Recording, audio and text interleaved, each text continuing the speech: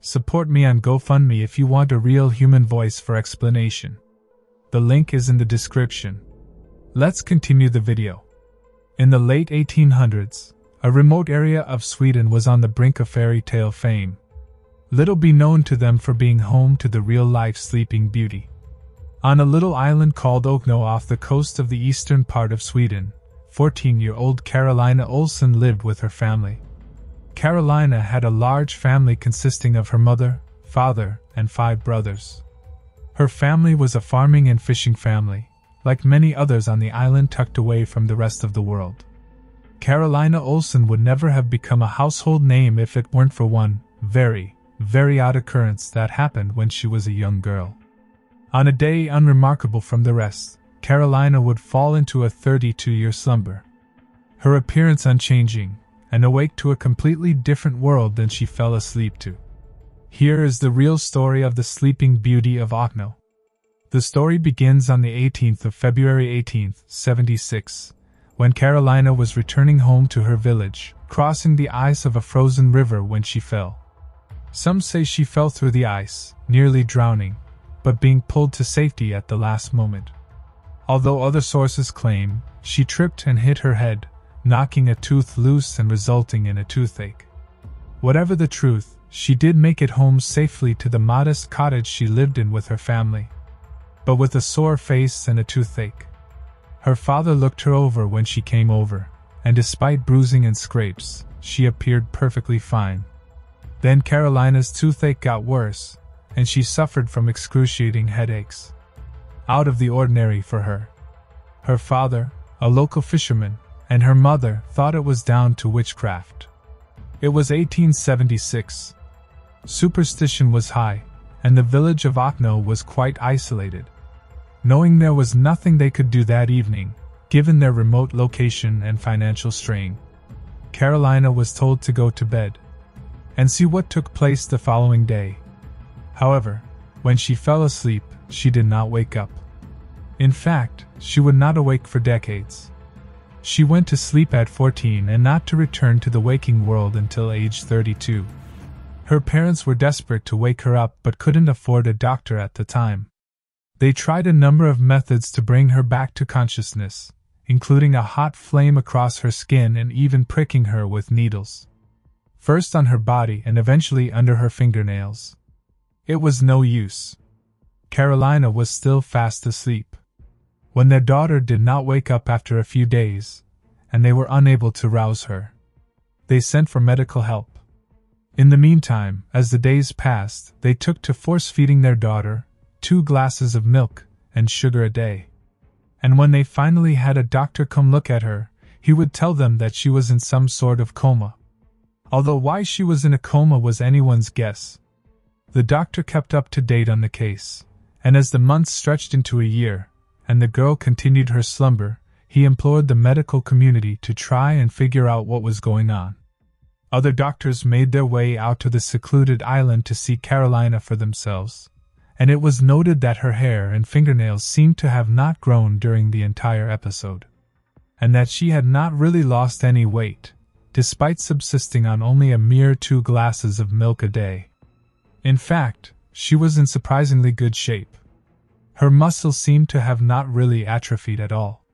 It was as if Carolina was in some sort of state of suspended animation.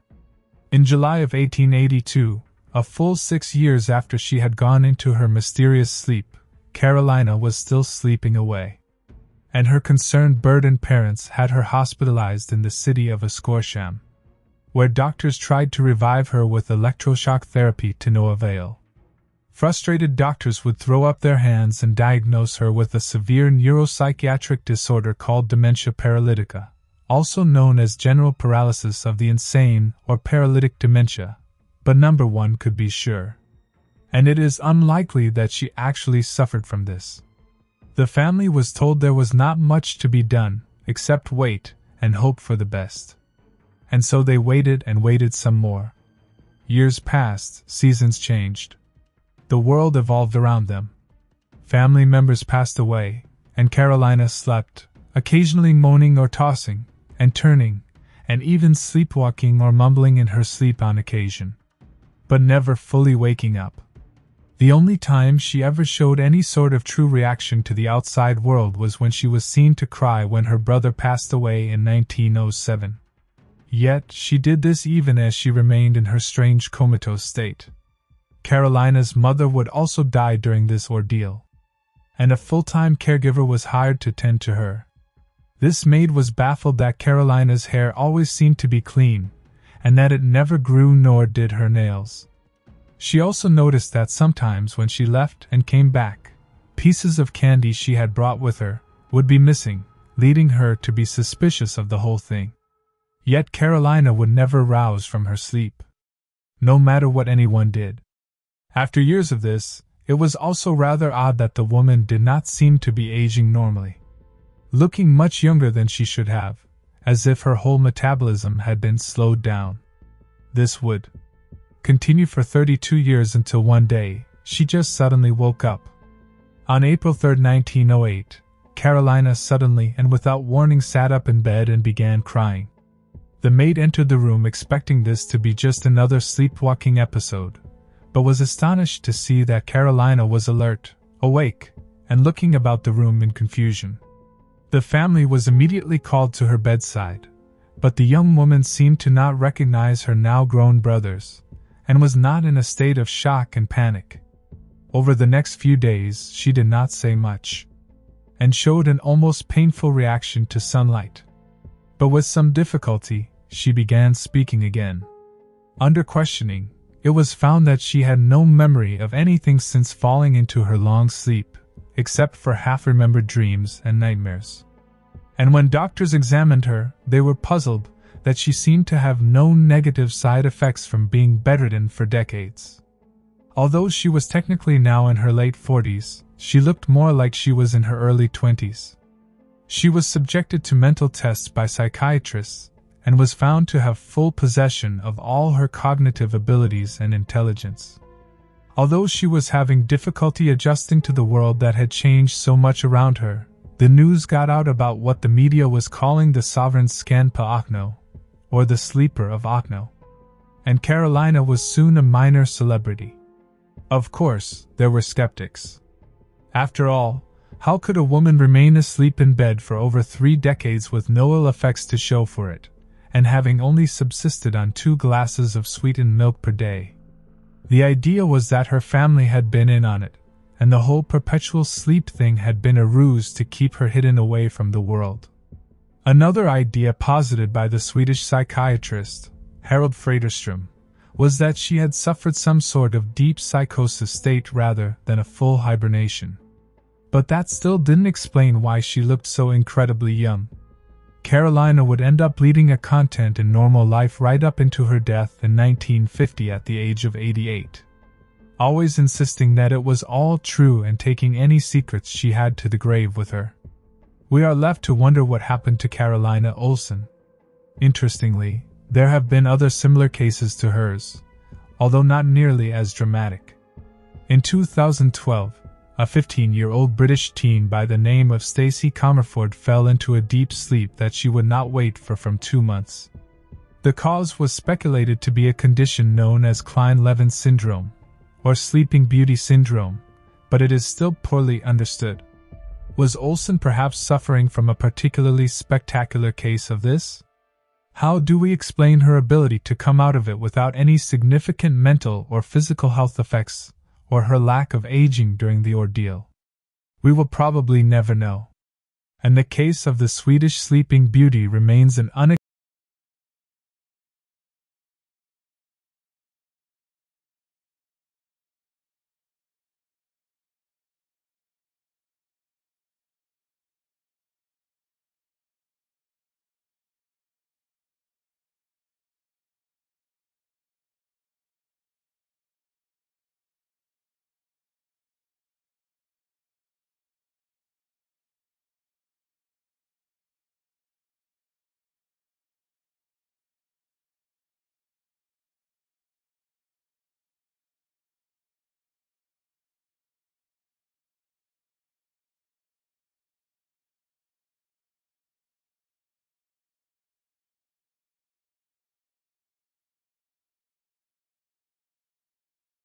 seen alive again. The search for the boys lasted two weeks, and culminated in a gruesome discovery beneath a large tree on the shady banks of Gypsy Creek. And had it not been for a prophetic dream, the whereabouts of George and Joseph Cox might still remain a mystery. This story is fact, not fiction. It isn't a tall tale nor urban legend. The story of the disappearance of George and Joseph Cox is horrendous, alarming, and draws much skepticism given how it played out. The strange tale of the lost children of the Alleghanies began on the morning of April 20th, 1856, when the boys followed their father into the woods. Samuel Cox, who had just finished breakfast inside the family's primitive log cabin in Spruce Hollow, grabbed his rifle after he heard his dog barking. The dog had managed to tree some small animal. And Samuel, desperate to put meat on the table for a family dinner, bolted from the cabin. He was so eager to shoot the trapped animal that he failed to notice that George and Joseph had followed him outside. This area of Pennsylvania was densely wooded. Even to this day, the woods in that part of the mountains are heavily forested and deep. You can easily be lost in them. The boy's mother, Susanna, thought the boys had just gone out after their father, and that they would return home shortly. When Samuel turned up at home alone, no boys in sight, that worry and fear started to set in. The parents realized their two boys really were gone, somewhere in the woods. Samuel scoured the area around his house, but could not locate them. He asked neighbors in the surrounding area for help. But after a long search, no trace of them could be found. Hunters, trappers, neighbors, and everyone from far and near joined in the search. As time went on, over a hundred people were involved in the search for the missing boys. Large fires were built on bridge tops, in hopes that the children would see one of the fires and make their way to safety. The searchers came up with one theory as to the boys' location. They set their sights on a nearby stream called Bob's Creek. The stream was gushing with melted snow from the change of seasons. They figured it was near impossible for the boys to have crossed the other side without drowning. Unfortunately, the search didn't bear any fruit. They were unable to find the boys, not even a trace of them. On April 20th 6th, suspicion fell on Samuel and Susanna Cox. It was thought that they might have their children in hope of gathering donations from a sympathetic population. However, the family's cabin and garden were searched, but no bodies were found. The local lore is thick with speculation on the boy's demise. A witch from Somerset County and the dowser were even consulted in searching for the remains. But the dowser found nothing. And the witch, despite claiming to know the children's location, led a search team through the woods for hours without finding anything. According to the legend, the night after the disappearance, a local farmer Jacob Dibert heard about the missing children and remarked to his wife that he wished to be able to dream of their location. On May 2, 1856, he had a dream in which he walked a path through the woods, past a dead deer, a child's shoe, and a fallen birch tree, and eventually to a corpse of birch trees in a small ravine. Here, he found the bodies of the Cox boys. The dream reoccurred on two following nights. The farmer told number one, but his wife about the dream. However, he felt that the dream was prophetic, and on May 7th, he told his brother in law, Harrison Whysong, who recognized elements from Dibert's dream. Thus, the two men decided to make a search, culminating in the discovery of the bodies just as the dream had described. Under birch trees in a small ravine reached along a track with a dead deer, a child's shoe, and a fallen birch. Jacob Dibert and his brother in law, Harrison Whysong, were remembered as heroes, and the day the boys' bodies were found, the church bells rang through many communities throughout the Allegheny Mountains. Once the boys' bodies were returned to the Cox home, church and school bells started ringing from Pavia to Bedford to Altoona, announcing the sad news of the boys being found. Joseph and George Cox, the lost children of the Alleghanies, were buried in Mount Union Cemetery. In 1906, to mark the mysterious tragedy's 50th anniversary, the community raised money to create a monument to the lost boys. In 1910, They had finally raised enough funds and a monument was erected on the site where the brothers' bodies were found over 50 years earlier. In recent years, visitors have started leaving kids' toys at the monument. The boys probably wouldn't have had much use for toy cars and stuffed animals in 1856, but it probably serves to accentuate the tragedy and break your heart if you visit the monument. The city of Hamelin, Germany, has a long standing summer tradition. Every Sunday during the vernal equinox, locals gather in the old town center to retell a lasting tale that takes place in the very city. Deep within the children's section of the local library is an old dusty copy of classic fairy tales. Behind the faded cover, live stories of heroism, nobility, and true love. Stories that eagerly filled the minds of young dreamers everywhere. However, dwelling amongst the once upon a times and happily ever afters is a far more sinister tale. Of rat infestation, broken promises, and the disappearance of an entire city's children. Among those darker tales is the story of the Pied Piper, also known as the Piper of Hamelin. It's a classic fairy tale that only a few have bothered to study the origins of. In fact, most that do know the story consider it simply a figment of the imagination, a tale meant to stir and leave the audience with an important lesson, never knowing that there is truth to the Pied Piper, some basis in reality. The most well known version of the children's story, which was written in 1857, talks about the Hamelin townspeople of 1284. This town was facing a rat infestation, and a piper dressed in a coat of many colored bright cloth appeared. This piper promised to get rid of the rats in return for a payment to which the townspeople agreed. Although the piper got rid of the rats by leading them away with his music, the people of Hamelin reneged on their promise. The furious piper left, vowing revenge.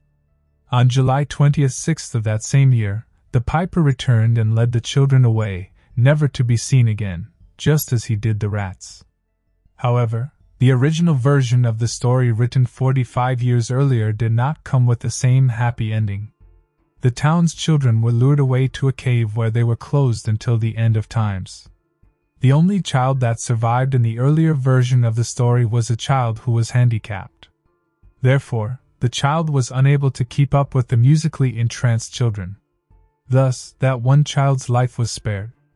There are many people who picked up this story, writing their own version of the events, right from the very time it happened. The most well known of all the stories about what took place in Hamelin on the 26th of June 1284 are those by the Grimm brothers. They stray far away from simple fantasy. On the interior wall of a Hamelin city house, there reads an inscription dating back to the 1600s. It reads, in the year of 1284, on the day of Saints John and Paul on June 20th, sixth by a piper, cloth in many kinds of colors, 130 children born in Hamlin were seduced and lost at a place of execution, nearby Koppen. The loss of 130 children is without question a near fatal blow to a town, to the population, to a chance at survival. It is remarkable that Hamlin is still standing after that the harrowing tale of over a hundred children's lives on in this plaque, all because of a supposed piper that led children to their end in the Calvary of Copenhagen. The legend is more than just a tall tale but something that causes local townsfolk to shudder at the thought of it. The inscription is now more than 300 years old, and it still spooks those native to the area. Enough so that the inscription's home within a church has now destroyed stained glass window. The church can be found in the market square, and it is one of the first documented records of the story of the Pied Piper. Even given the centuries old age of this story, the town maintains that there is allegedly an eyewitness account from the time. In the windows of the historic building, there's the scene of the legendary piper that pushes children inside of a mountain. It explains the episode in an unambiguous way. A piper first freed the city from the rats, carrying them to the river Weser. And then, with gaudy clothes, takes the children on a mountain adjacent to the city where he pushes them in a cave from which they will never return. And what if this 800 year old tale is really true? And what happened to the children of Hamlin? Numerous hypotheses have been made to explain the episode. Someone says that the rats never existed and were added to the story, holding from the 16th century. Someone believed that the Black Death was the true cause of the children's death, a theory largely discarded though because the plague didn't hit Europe until the mid 1347. So it is very unlikely that an entire city was already afflicted over 60 years earlier. Several other theories have been put forth in an attempt to know what happened in the story. The children were taken to the mountains to avoid the contagion of the whole population, with the disease of chorea also called the Dance of Saint Vito. About this, there are references in the Chronicles of Erfurt of 1237 and in the Chronicles of Masterich of 1278. Or the children were forced to leave the city for a new children's crusade or for a military campaign. The Crusade of Children has been the subject of extensive debate, and seems to be the result of a misinterpretation of the Latin word pure, which is confused with the word pauper, which means poor. The military campaign, on the other hand, was very common at the time and often involved even the youngest. It's also possible that the children were part of a migration eastward, probably to Transylvania.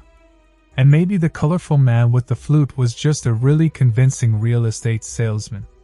Another hypothesis, very interesting, came from Jerno Hussein, a local historian. The Baron Spiegelbergs, convinced Catholics, were determined to eliminate resistance to religious conversion in the area and hired a hunter with bright clothes. They had 130 children of the city of Hamlan sacrificed over a Calvary, like that of Christ sacrificed to save the men, near the city. The ordeal could be mounted if only 15 kilometers away from the town of Hamlin, where is located the kitchen of the devil, a perfect place to make sacrifices of this kind, and traditionally linked to pagan rites. In fact, the hill Oberberg is described by the oral tradition of the city as a theater of rituals and demonic parties, which were accompanied by the sound of a piper who played during the ceremonies inviting young people to dance. Today, on the Bangel the street where the Pied Piper House is located, where the children were supposedly last seen, music is banned as a sign of respect. But in the rest of the city, there is everywhere rat iconography. A clock tower tells the story three times a day. There's a Pied Piper statue and some bars that serve typical rat's blood cocktails. Twice a day, the bells played, also the Pied Piper melody. Whatever the cause of the eerie disappearance of 1284, the children of Hamlin are certainly not forgotten. A mystery probably bound to remain so. Before the invention of the written word, societies of the past needed a way to document their lives, to record successes and failures, much in the way we still do now. The main way these ancient communities did this was through rock carvings, drawings, and paintings. It was through these primitive illustrations, many of which have been uncovered, that we in the present learned about the lives of those who came long before us. Yet on rare occasions, these primordial rock pictures have shown us something else entirely. They have given us more than a peek into another time or place, but shown us a story or an image that is truly mysterious. Topped away in an isolated valley about two hours from Milan is a place known for its famously mysterious rock art called Valcamonica. The valley in which Valcamonica is located sits within the craggy mountainous terrain of the Central Alps. It is the largest valley in the area situated in the eastern Lombardy region, inside the Italian province of Brescia. It's a sweeping and expansive 56 miles wide, running through fields, forests, and quiet medieval villages. These villages in the quiet parts of Europe are the ones we see in the storybooks as children, those seemingly untouched by time and the modern world. Valcamonica's villages themselves have been voted some of the most beautiful in Italy many times over. The valley is blooming with plant and flower life that makes it a special place to see. A lot of greenery found in this area is native and unique to it, meaning that it can't be found anywhere else. In 2018, UNESCO named it a World Heritage Site and added it to their list of the World Biosphere Reserves. In addition to this, the valley is rich in history, possessing numerous old castles and Roman ruins. And it has several UNESCO World Heritage Sites, but Valcamonica is perhaps the best known for having the largest, most extensive, and complete collection of prehistoric rock drawings called petroglyphs in the world. Despite the outward fascination of the art found on the rocks in Valcamonica, the Italian locals initially thought nothing of them. Most of those local to the region paid no attention to them, thinking them piety or scribbles until 1914. At this time, Gualtarello Leon, an alpinist and geographer, came across them. It was his discovery of the carvings that went previously unnoticed that thrust them into the international spotlight, drawing interest from scientists and anthropologists across the globe. There are over 140,000 formally UNESCO recognized symbols and figures carved into the rock all over the valley, but there could possibly be between an estimated 200,000 to 300,000 of them in total. Encompassing over 8,000 years of history, dating from at least the 6th to the 8th centuries BC in the Mesolithic Age, 15,000 to 5000 BC, up through the medieval times, 476 to 41553 AD. They are a unique peek into this time before written history, with many of these carvings capturing in time images depicting the daily life and spirituality of these ancient humans, including animals, plants, and humans engaged in various scenes of everyday life hunting, magic, religion, war, and navigation, all of them in exceptionally good condition and virtually undamaged by the years and elements thus making them and the history they depict invaluable to the fields of prehistory sociology and ethnology. The expansive carvings have drawn in much curiosity and fascination since their presence became widely known. Notably, they were used as Nazi propaganda during World War II, when Germans, Franz, Altheimer, and Erika Trautmann began associating the petroglyphs with Nazi ideologies, quickly spreading the idea that they depicted a mysterious ancestral Aryan race and providing their proof of their superiority. The carvings were also used for Italian fascist propaganda, and it wasn't until after the war, and in the 1950s, that proper scientific research would start on them again. In 1979, the petroglyphs of Valcamonica were recognized as a UNESCO World Heritage Site, becoming Italy's first such designated site, and the carvings have instilled wonder and speculation right up into the modern day. Yet, with such a mysterious place stuck in time, it is perhaps no surprise that there have been also many unsolved mysteries associated with it. It has not gone unnoticed that there among all the images of humans, animals, plants, and various geometric shapes are those that stand out as rather different from the rest and not a little out of place. In particular, there are a few petroglyphs that show figures that are drawn in such a way as to make their heads seem too small in proportion with the rest of their bodies. And making it hotter is that they seem to be wearing what can only be described as some sort of protective space suit. These suited figures also have atop their heads what looks very much like helmets that an astronaut would wear, complete with lines radiating outward, as if to convey shining bright light. To make it all even more bizarre, the figures are depicted holding what looks like some sort of mysterious tools or weapons, like nothing seen in any of the other drawings. And in fact, at no other place in the history of these carvings is anything else like it seen. The impression one gets is that these are figures in astronaut suits, wielding advanced tools or weapons. But of course, there is the conundrum that they are thousands of years old, long before any sort of outfit or electric lighting would be available. So, what do we make of this? Why would this one set of carvings hold such and no looking figures so long ago? Considering their strange appearance and out of place nature, it is perhaps no surprise that the strange petroglyphs have been proposed as being evidence that ancient aliens once visited the area and were then depicted by the awestruck ancient people living here. However, Others have proposed that the petroglyphs are merely stylistic artistic representations of some religious idea or even a battle between two men wearing some sort of armor. The images are so old, and the people who etched them into that rock are long gone. So it is impossible to say for sure, but the images are certainly odd when compared to the other, more mundane figures and scenes portrayed at Valcamonica. What are these images, and what do they represent? Are they merely the whims of some long ago artist?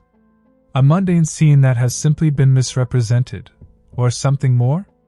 There have been many such mysterious petroglyphs discovered around the world. And whatever the answer is, the ones at Valcamonica remain intriguing at the very least. Through history, we occasionally come across those who attract mystery and intrigue. These figures become larger than life and remain inscrutable enigmas. One of those figures is the mystifying woman known as Nina Kulagina. Nina was born in St. Petersburg, Russia, in 1926. As a young and impressionable 14 year old, Nina enlisted herself in the Red Army. She was assigned to a tank regiment fighting the Nazis of World War II. This was a grim, dark chapter in her life. During this time, Nina endured the numerous hardships of war and violence before an injury ended her military career.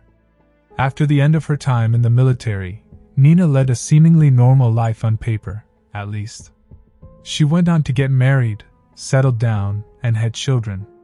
She was, for all intents and purposes, a housewife. It was during this quiet time in her life that things would begin to get very strange. Nina found herself delving into the ancient archives of legendary cases of powerful psychic individuals. Nina describes the night she realized that something wasn't quite right. I was very angry and upset one day. I was walking toward a cupboard in my apartment when suddenly a picture in the cupboard moved to the edge of the shelf, fell, and smashed to bits. At first, she was frightened a bit and suspected that her home might even be haunted. Over time, she began to realize the link between her anger and the phenomena was undeniable. Nina had hazy recollections of her own mother possessing the ability to move things with her mind. Puzzled, she tried to focus her concentration. Initially, she wasn't able to control what appeared to be psychokinesis, or the ability to move objects with the power of the mind alone. It took a lot of practice and patience. Over time, she slowly gained the ability to move objects at will, starting with small light objects, such as strips of paper, cigarettes, and matchsticks, gradually graduating to heavier, more substantial objects, much to her own amazement. Nina's powers grew outside of just inanimate objects. As she allegedly started to manifest other abilities, she discovered she could see what was inside people's pockets, see colors with her eyes closed merely by touching something, and even, by her own accounts, healing people or generating electromagnetic energy from her body. Nina was no ordinary housewife. She mostly kept these extraordinary powers to herself for fear of telling anyone else. After suffering mental problems, she was sent to a hospital for observation. The hospital staff saw firsthand her miraculous and mysterious abilities, previously unknown to anyone. This is when word got out about her, attracting interest from parapsychologists around Russia. One of the first to come and test Nina's abilities was Soviet scientist Edward Naumov, who quickly affirmed her potent psychokinetic abilities. To test them, he spread out some matches in front of her in an impromptu experiment. Nina quickly demonstrated her abilities, moving them with her mind to the edge of the table and onto the floor. After this, she was supposedly intensely studied by Soviet scientists in numerous experiments under controlled conditions. During this process, the extent of her abilities became abundantly clear and undeniable. One of the most widely tested of Nina's powers was that of psychokinesis. She was consistently able to baffle everyone fortunate enough to witness these demonstrations, purportedly even under the strictest of lab conditions. Among the many experiments carried out, some truly stand out as bizarre. In one test, Nina was able to move objects that were completely sealed in a plexiglass container, and to even remove a marked matchstick from a pile under these conditions. In another, she made a ping pong ball levitate for several seconds. Perhaps the most spectacular one was when she was seated in front of a vat of saline solution, in which hovered an egg, floating there like an insect in amber.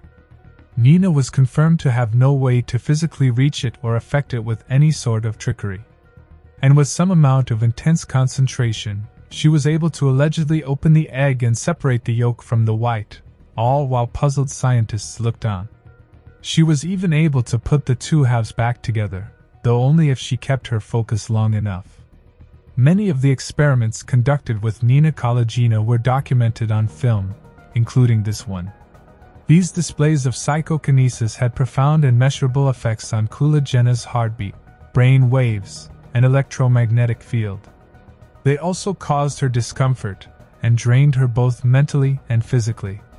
They even caused dramatic weight loss over a short period of time, yet she was always willing to continue these experiments.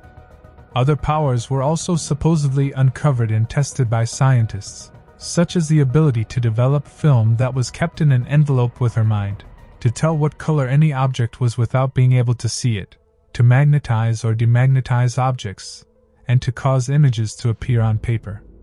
All of these were revealed over time, with perhaps the most impressive being her ability to seemingly affect organic tissue and living cells. It was this power that lies at the center of one of her most famous and certainly weirdest experiments of her career.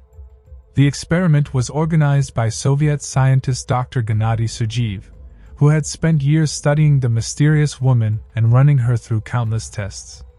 In the experiment, the still beating heart of a frog was placed in a solution, which could keep it beating for up to an hour. Kulagina was asked to see if she could influence it in any way with her mind. Scientists were measuring beats per minute through electrodes they'd hooked up to the amphibian's tiny ticker. According to the Soviet doctors monitoring her, Kulagina's own heart rate increased dramatically during the seven minutes it took her to mentally stop the frog's heart. It had taken her 20 minutes to prepare for the exercise. Later, rumors would even claim she could influence human hearts, however, this is unconfirmed. As to how she did it, Sergeev would speculate that she somehow was drawing energy in from the atmosphere around her and projecting it at the things she was focusing on. He made electromagnetic readings that he claimed supported this theory. All of these amazing feats were starting to get out into the wild and into international news. It wasn't long before Nina Kulagina was attracting scientists from overseas. In the meantime, Nina changed her name to Tanelja Michailova in order to hide and protect her real identity, as she was facing increased scrutiny from the public. Despite this scrutiny throughout it all, she was said to be labeled the real deal by nearly everyone who studied her. Of course, there were skeptics who waved it all away as illusions, sleight of hand, and trickery but these experiments were consistently claimed to be under the most stringent conditions. Regardless of accusations of cheating, it has never been conclusively proven that she was ever caught doing so in any of these bizarre demonstrations. In fact, in one instance, she was accused of fraud by a Soviet newspaper, who Regina won a defamation case against her, further propelling her legend. The main problem with all of this is that it is almost based solely on reports coming out of the Soviet Union at the time when the Cold War was going on. Most notably, there was much competition between the United States on many playing fields. Importantly, both governments were engaged in their own studies into psychic phenomena at the time. So there seems to be the definite possibility that the stories of Kulagina's powers were at best exaggerated or at worst completely fabricated. In the end, there is simply no way to truly verify any of it. All sources lead back to Soviet claims, often with murky details on how these supposed strict environments were carried out. We have no choice but to take their word for it.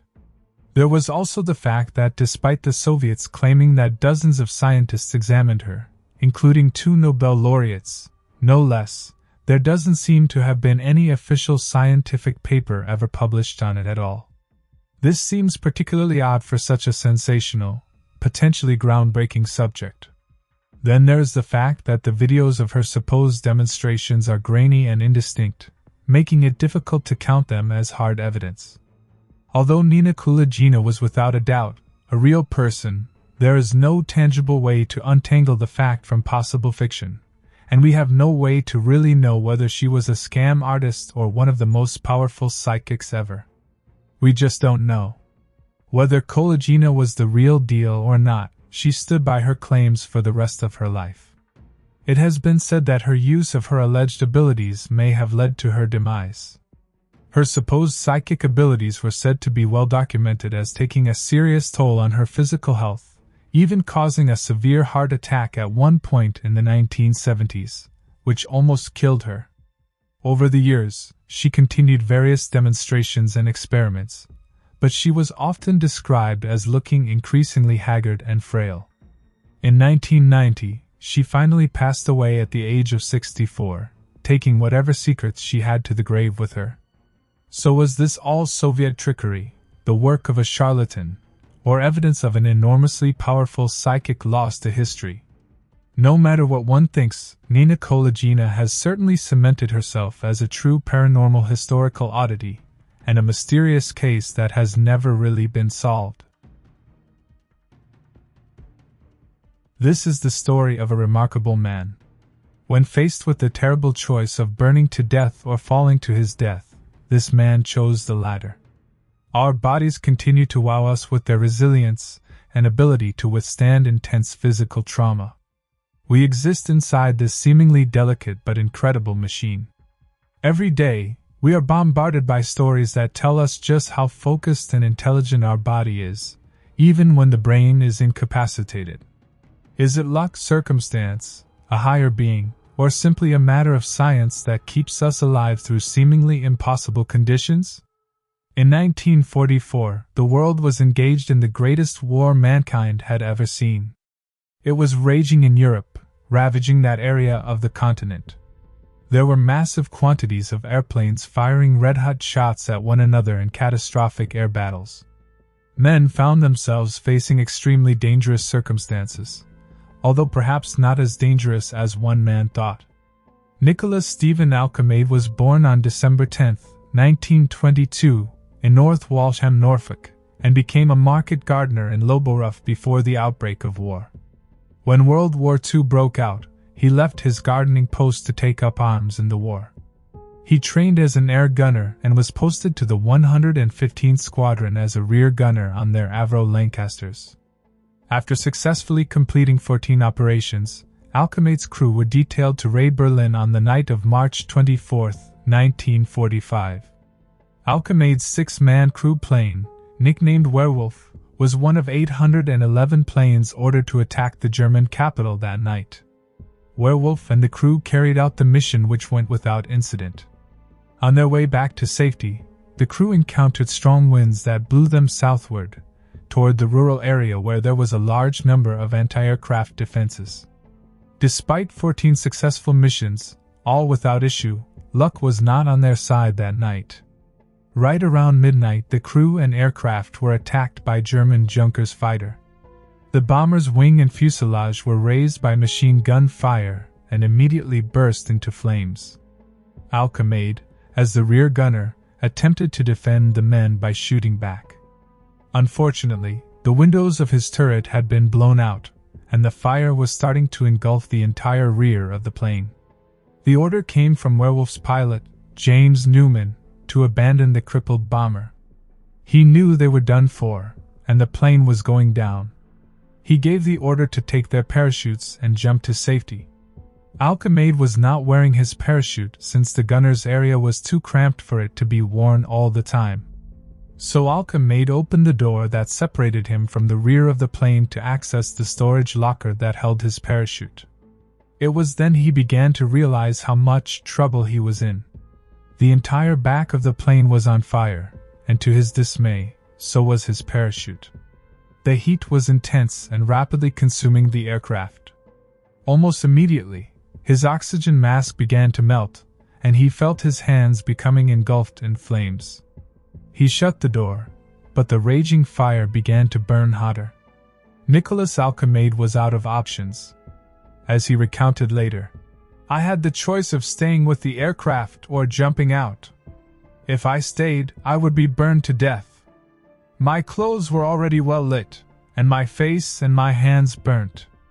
Though at the time, I scarcely noticed the pain owing to my high state of excitement. I decided to jump and end it all as quick and clean as I could. I rotated the turret to starboard and, not even bothering to take off my helmet and intercom, did a backflip out into the night. It was very quiet. the only sound being the drumming of aircraft engines in the distance, and no sensation of falling at all.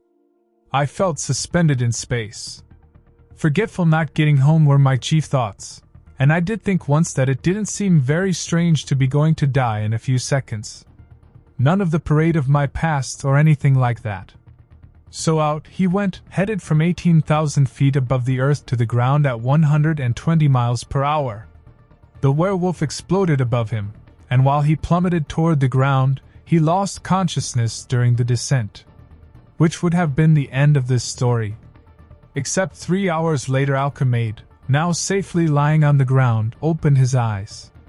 He was lying on his back on a pile of snow, and could see the stars above him through the canopy of some pine trees. Slowly and gingerly, Alkemade moved his arms and legs. Remarkably, he seemed unhurt. It seemed that the flexible young pines had slowed his descent, enough that the snow was able to cushion his fall. When he landed in a pile of snow beneath, the impact hadn't been too hard. He had not broken one bone but had only managed to sprain his knee after an 18,000 foot fall from the sky. The first thing he did was to smoke a cigarette and reflect on his good fortune. When he finally stood up, he realized he had sprained his knee, and that at some point his boots had come off, presumably in the trees above. Just 20 yards from where he had landed was a wide open area, devoid of snow. If he had landed there, he would have died. Despite being safe and relatively unharmed, Alkemade couldn't walk due to his injured leg. He discarded his unused parachute harness and blew his distress whistle. Soon, some local Germans found him, and he ended up in a hospital where his burns, cuts, and sprain were looked after. He had survived and was remarkably unscathed. Then, the Gestapo arrived. By all rights, Alkemade was a prisoner of war. This would have seen him sent to a prison camp. However, when the Gestapo interrogated him, they asked where his parachute was. He told them he didn't have one, that he had jumped from the plane and been simply lucky. Understandably, the Gestapo didn't believe him. They accused him of burying the parachute and being a spy. If they proved this to be true, it would mean a death sentence for Alkemade. The interrogators kept at it, finding it hard to believe that someone could survive with Alkemade claimed. Nonetheless, he stuck to his story. A search of where he was found led to the Germans finding his discarded harness, which had clearly not been used. To further corroborate his story, the wreckage of the werewolf was found 20 miles away. In the shredded and burned remains of the aircraft, the Gestapo found Alkemade's parachute with the ripcord and cables still wrapped up tight in the container. Finally, they were convinced. He skirted death twice to now become a prisoner of war. The Germans were impressed and even gave him a commemorative certificate that stated Alkemade had indeed fallen 18,000 feet without a parachute. And survived. He was sent to Stalag Luft III, a POW camp in Poland. Nicholas Alkemade's story gave him celebrity status. He received extra cigarette rations, and another prisoner, Flight Lieutenant Bennett Kenyon Kenyon, even drew a portrait of him. The war was coming to an end, and the Russians were advancing. To keep prisoners of war away from the Russians, which would have led to the prisoners being liberated, tens of thousands of POWs, including Alkemade, were forced to march west. They faced blizzards, exhaustion, and starvation. Tragically, hundreds died before they were eventually freed, and the war came to a close. Alkemade had survived. He danced on the edges of death more times than most, if not all human beings do in their lifetimes. After the war, Nicholas Stephen Alkemade moved to Loughborough with his wife and children. He lived a good life and passed away in 1987. So was it luck? What are these forces that seem to guide our lives so much? How can one man die from the height of 30 feet while another lives after falling from over 18,000 feet without a parachute? The debate has raged on since Alkemade first stood up after his famous fall, fueled by each variable no matter how small it seems. Everything from the depth of the snow to the type of the pine tree he fell into has been scrutinized. And the only ultimate conclusion we can come to is that his survival is simply unexplainable. History has told us a great many tales of unexplained possessions. These tales are the whispers of religions, of the old or the fearful. They vary by region, by demon, and most of them are unsolved, untouched, or even kept secret. Those curious enough to dig in further have been cautioned, been told to tread lightly into this world of paranormal phenomena. Many have turned away, urging only those brave enough to go forth and face what they call the curse of the exorcism. Exorcism, from the Greek, exorkismos, binding by oath, is the religious or spiritual practice of evicting demons or other spiritual entities from a person or an area that is believed to be possessed. As citizens of the world, we go back and forth on what is truth and what is fiction. Is it true that a demon can bewitch and control the human body so much so that the bewitched body can lose all authority and be a victim to unpredictable actions and harsh words? Or is this simply an undiagnosed psychological disorder, as science tells us it must be? Experts in exorcism, preachers, religious leaders, historians believe that the possessed persons are the victims, not the perpetrators of evil doings. They are not regarded as evil in themselves, nor wholly responsible for their actions. Because of this, those that specialize in performing the exorcisms, which is the act of expelling a demon or evil spirit from the body, regard exorcism as more of a cure than a punishment. For some of the possessed, exorcism has been the cure that brought the person back into their own body again. Unfortunately, some victims of demonic possession don't survive this cure. Some never again return to their body. Anneliese Michel grew up devoutly Catholic in Bavaria, West Germany, in the 1960s, where she attended Mass twice a week. When she was 16 years old, she suddenly blacked out at school and began walking around dazed. Though Anneliese did not remember the event, her friends and family said she was in a trance like state. Eight years later, on July 1, 1976, 23 year old Anneliese Michel died after almost nine months of exorcism. She spent eight years seeking help for her shaking and trance like states, to no real avail. A year after the original incident, she experienced another one, this time in her sleep. She was finally diagnosed with grand mal epilepsy. After her diagnosis, she changed a lot and spent more of her time depressed. After a long stay at the hospital and receiving medical care for her new condition, Anneliese thought that everything would be back to normal. But it wasn't.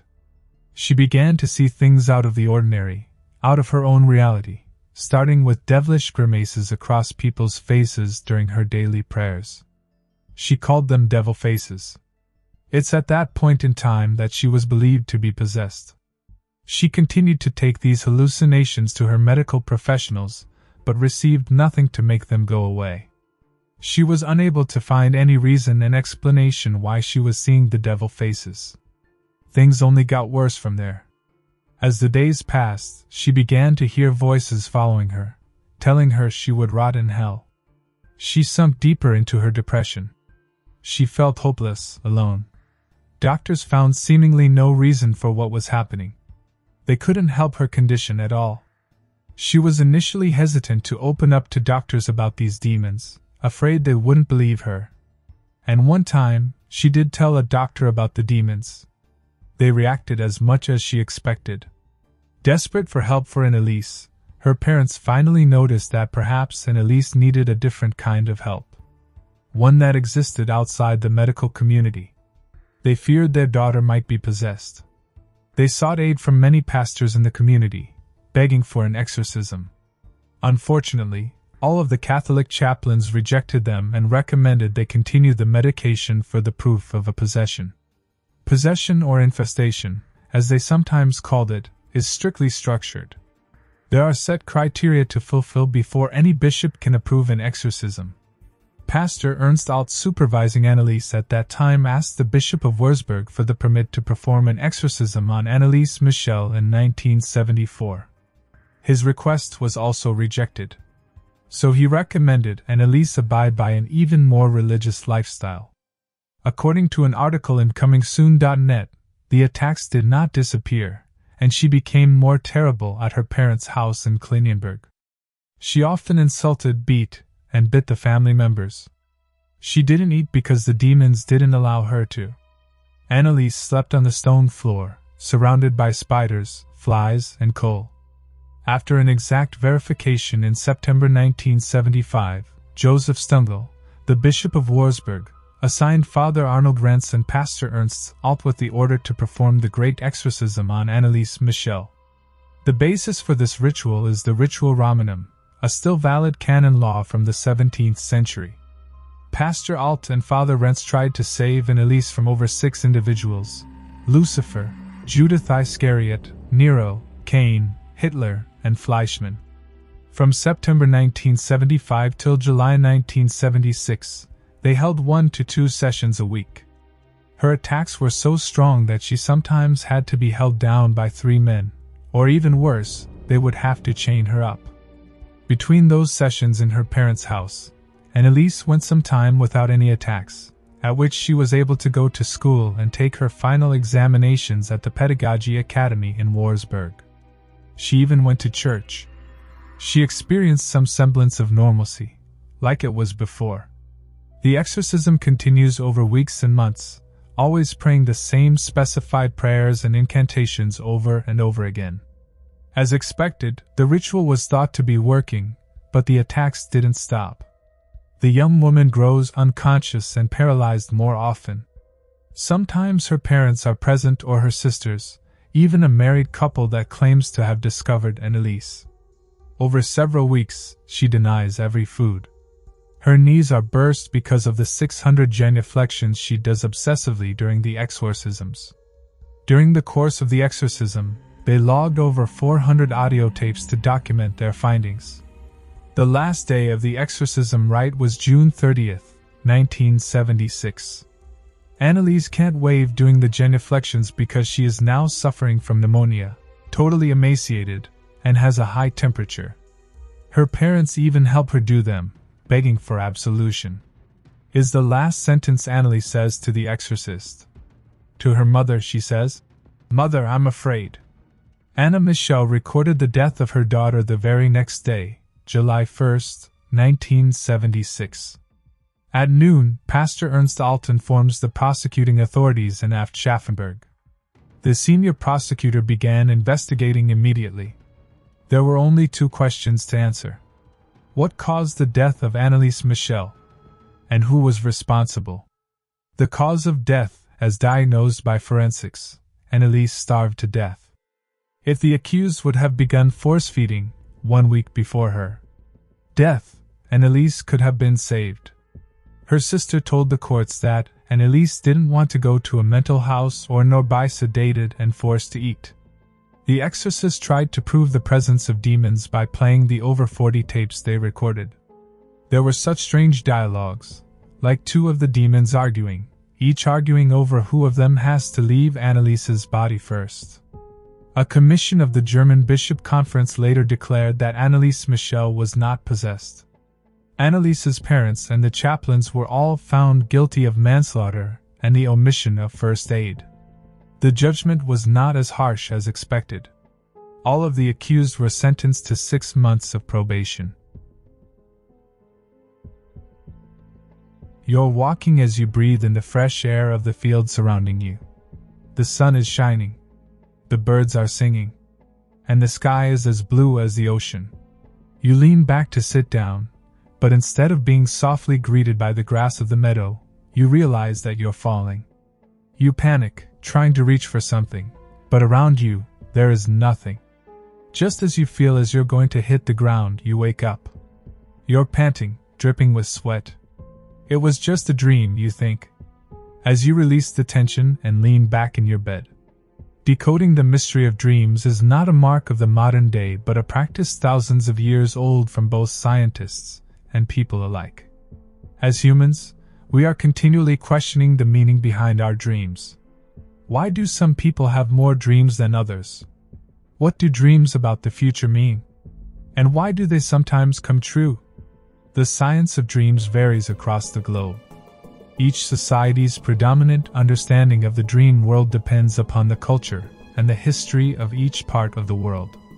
Each place has different legends about the nature and origins of dreams.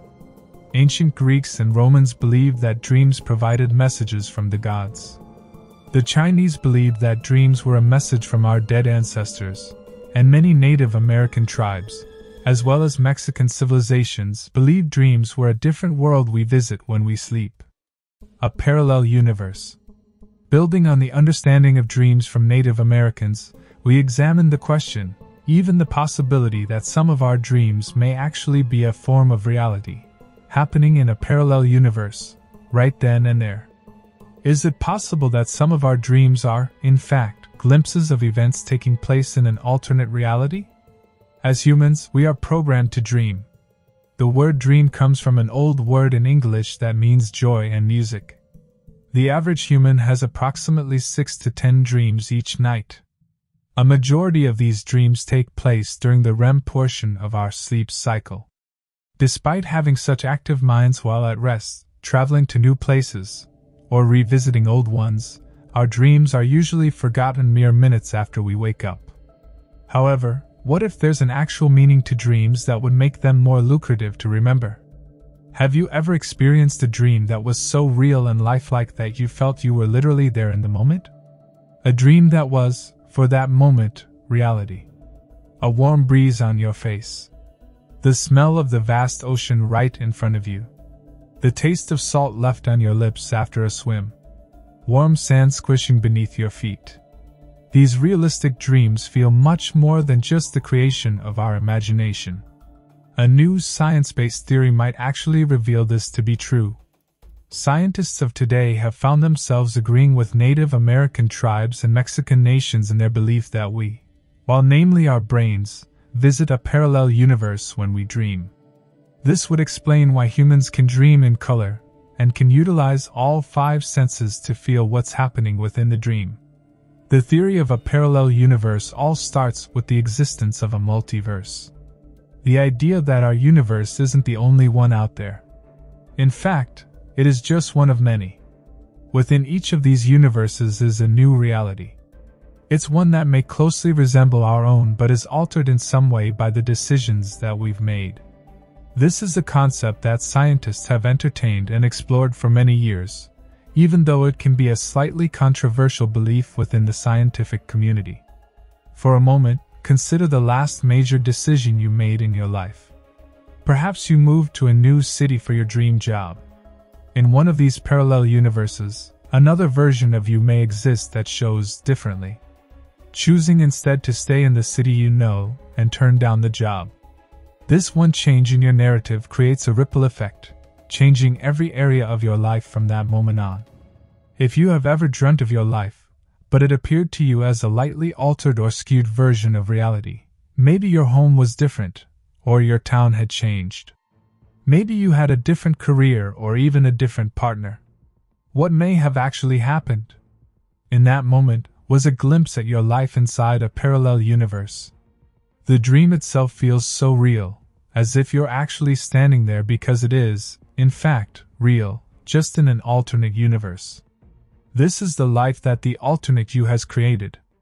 People often have a recurring dream about a place they never visited or never even heard of. It's possible that such dreams are glimpses into what one experienced in a parallel universe. Sometimes people dream about events that have not yet happened but will take place in the future.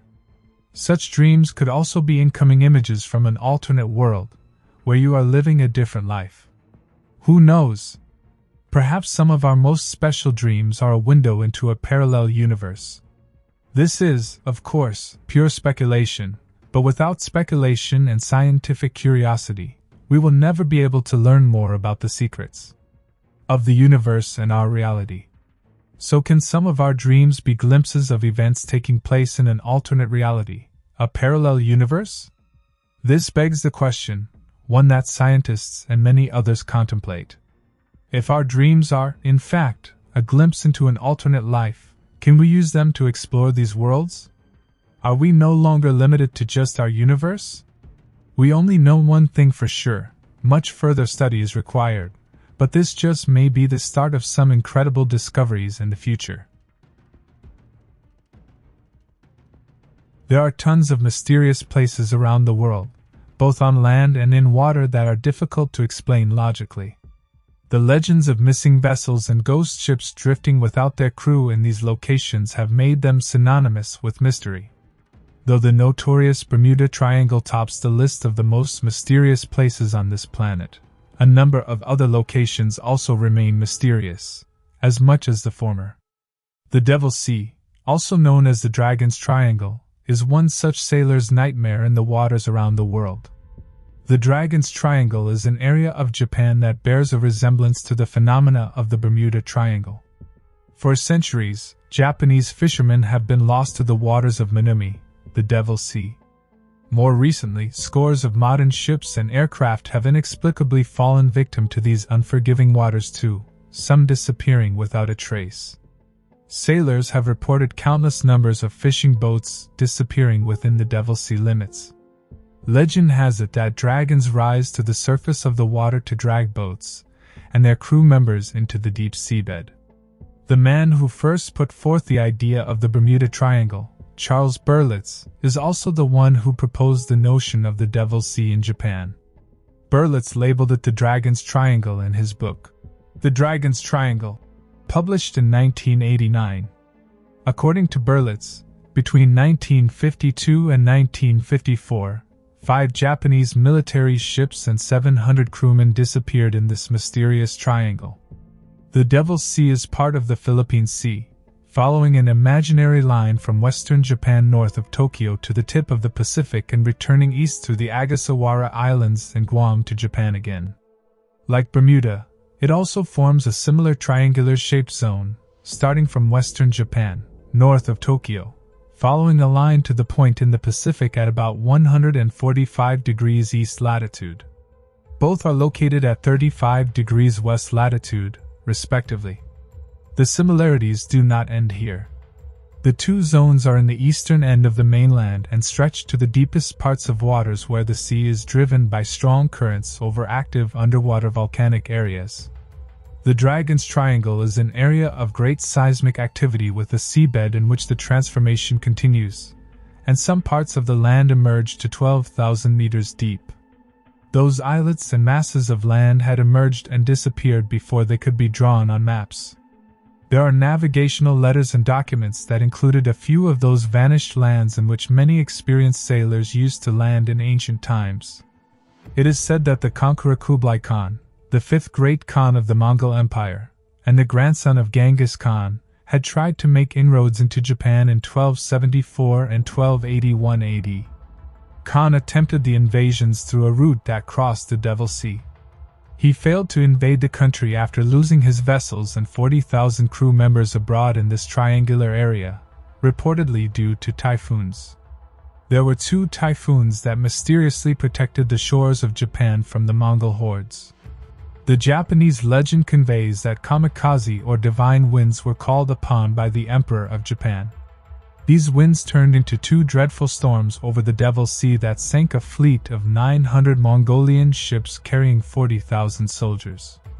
Then, the devastated fleet had left from mainland China, and it was supposed to meet a southern fleet of 100,000 troops to overwhelm Japanese defenders. Instead, Kublai Khan's forces fought to a stalemate after 50 days, and the Japanese repelled the invaders when Khan's forces retreated and many soldiers deserted. The famous Japanese legend of Utsuro-bune, which literally means a hollow ship in Japanese, refers to an unknown object that allegedly washed ashore in 1803. In Hitachi Province, on the eastern coast of Japan, close to Tokyo and the Dragon's Triangle. According to legend, an attractive young woman aged 18 to 20 years old arrived on a local beach aboard the hollow ship on February 22, 1803. Fishermen brought her inland to investigate further, but the woman was unable to communicate in Japanese. She was very different from anyone there. The woman had red hair and eyebrows, and her hair was elongated by artificial white extensions. The extensions could have been made of white fur or thin white powdered textile streaks. This hairstyle cannot be found in any literature. The skin of the lady was a very pale, pinkish color. She wore precious long and smooth clothes of unknown fabrics. Although the mysterious woman appeared friendly and courteous, she acted oddly. She always clutched a moderately sized 24 inch quadratic box, made of pale material. She did not allow anyone to touch the box no matter how kindly or pressingly the witnesses asked. Unable to communicate with one another nor gain any helpful information, the fishermen returned her and her vessel to the sea where it drifted away. Many believe that she was an intelligent extraterrestrial being who had accidentally come to Earth from another world through her spaceship.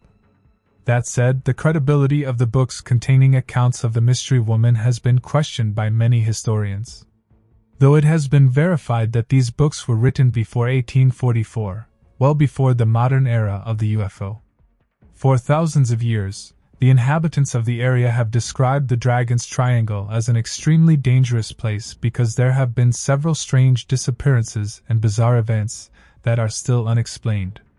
Among its victims, a long list of fishing boats, large warships, and aircraft have simply disappeared with all their crew inside the evil triangle, with every last radio communication going unanswered.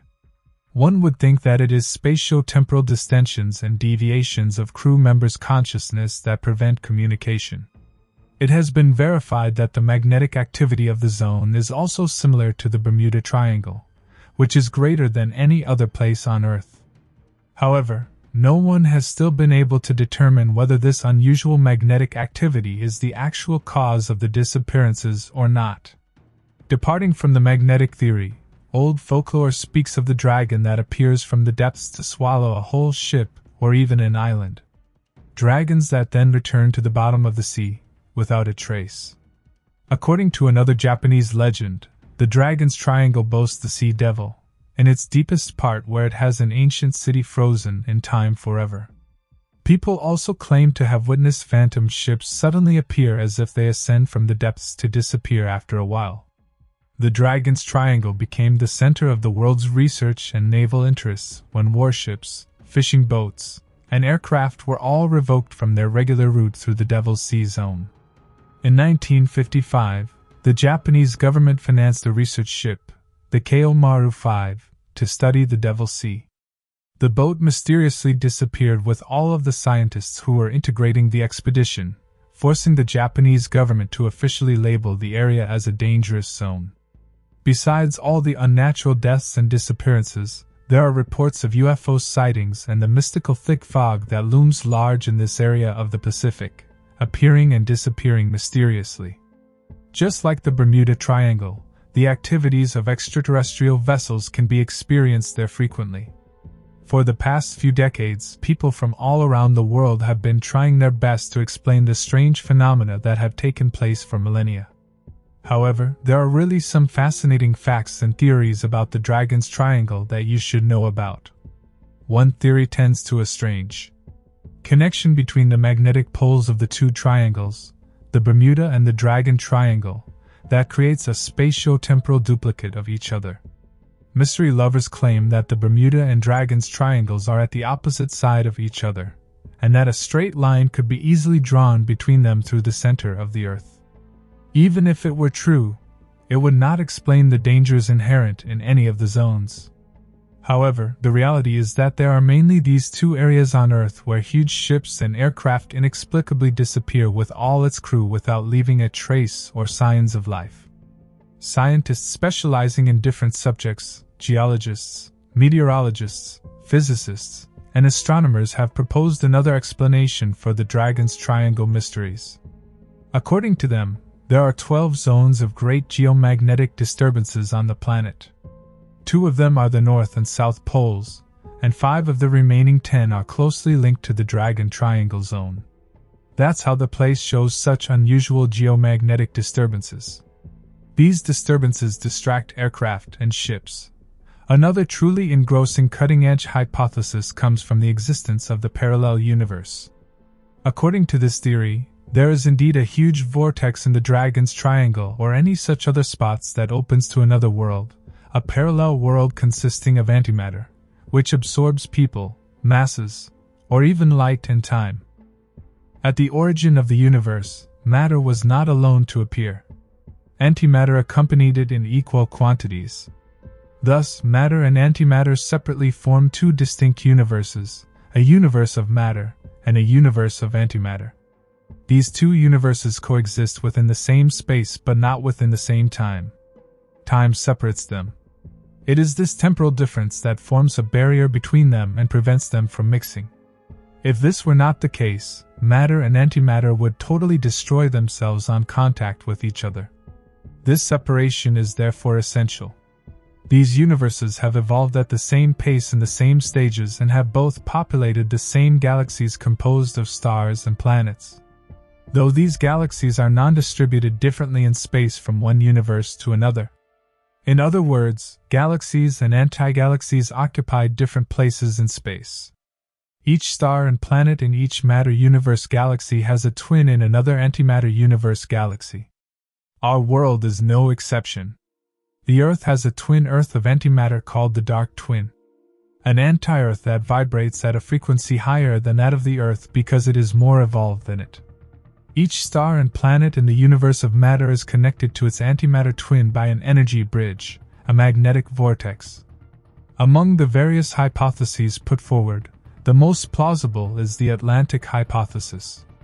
Indeed, the destruction of Poseidia, the largest and the last of the seven islands that formed Atlantis, left at the bottom of the Atlantic Ocean a giant crystal emitting powerful electromagnetic radiation that fed the Atlanticians with energy.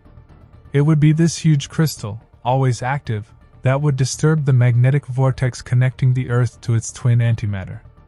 Its hyper-powerful radiation would cross the Earth from side to side and connect the Bermuda Triangle to the Dragon's Triangle in a huge energy loop whose radium fluctuations would occasionally open a vortex, the spatial temporal door to the Earth's dark twin.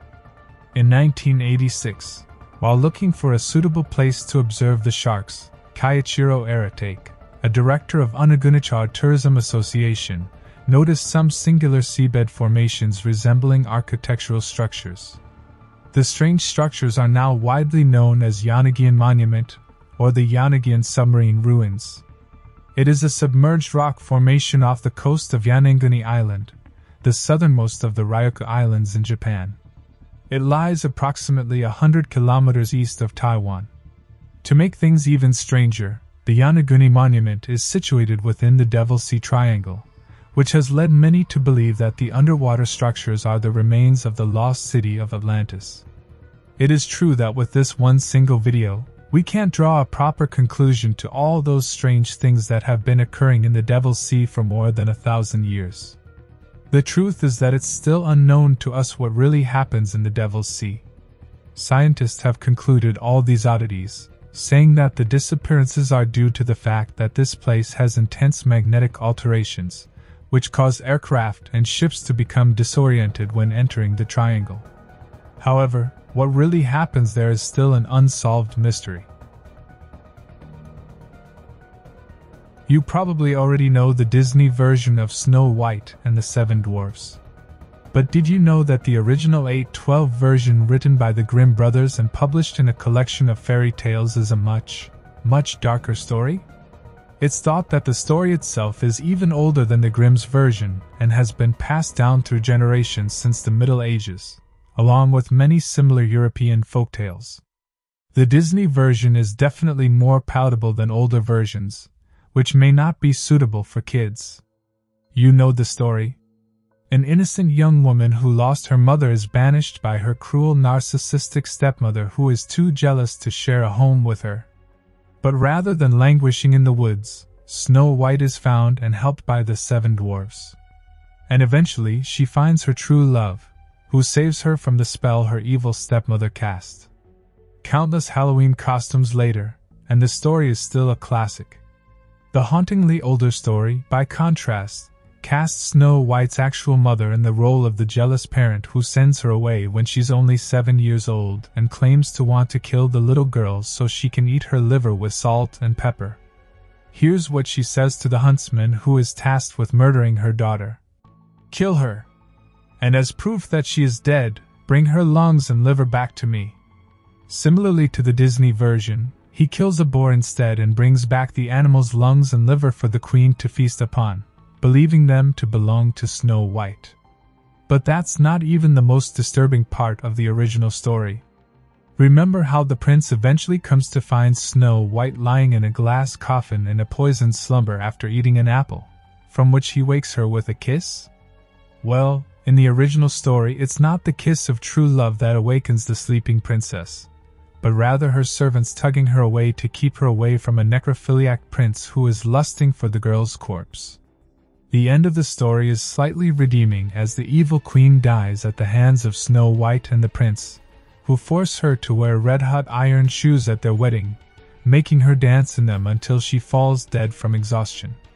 Here's the quote from the Grimm brothers' tale They put a pair of iron shoes into burning coals they were brought forth with tongs and placed before her.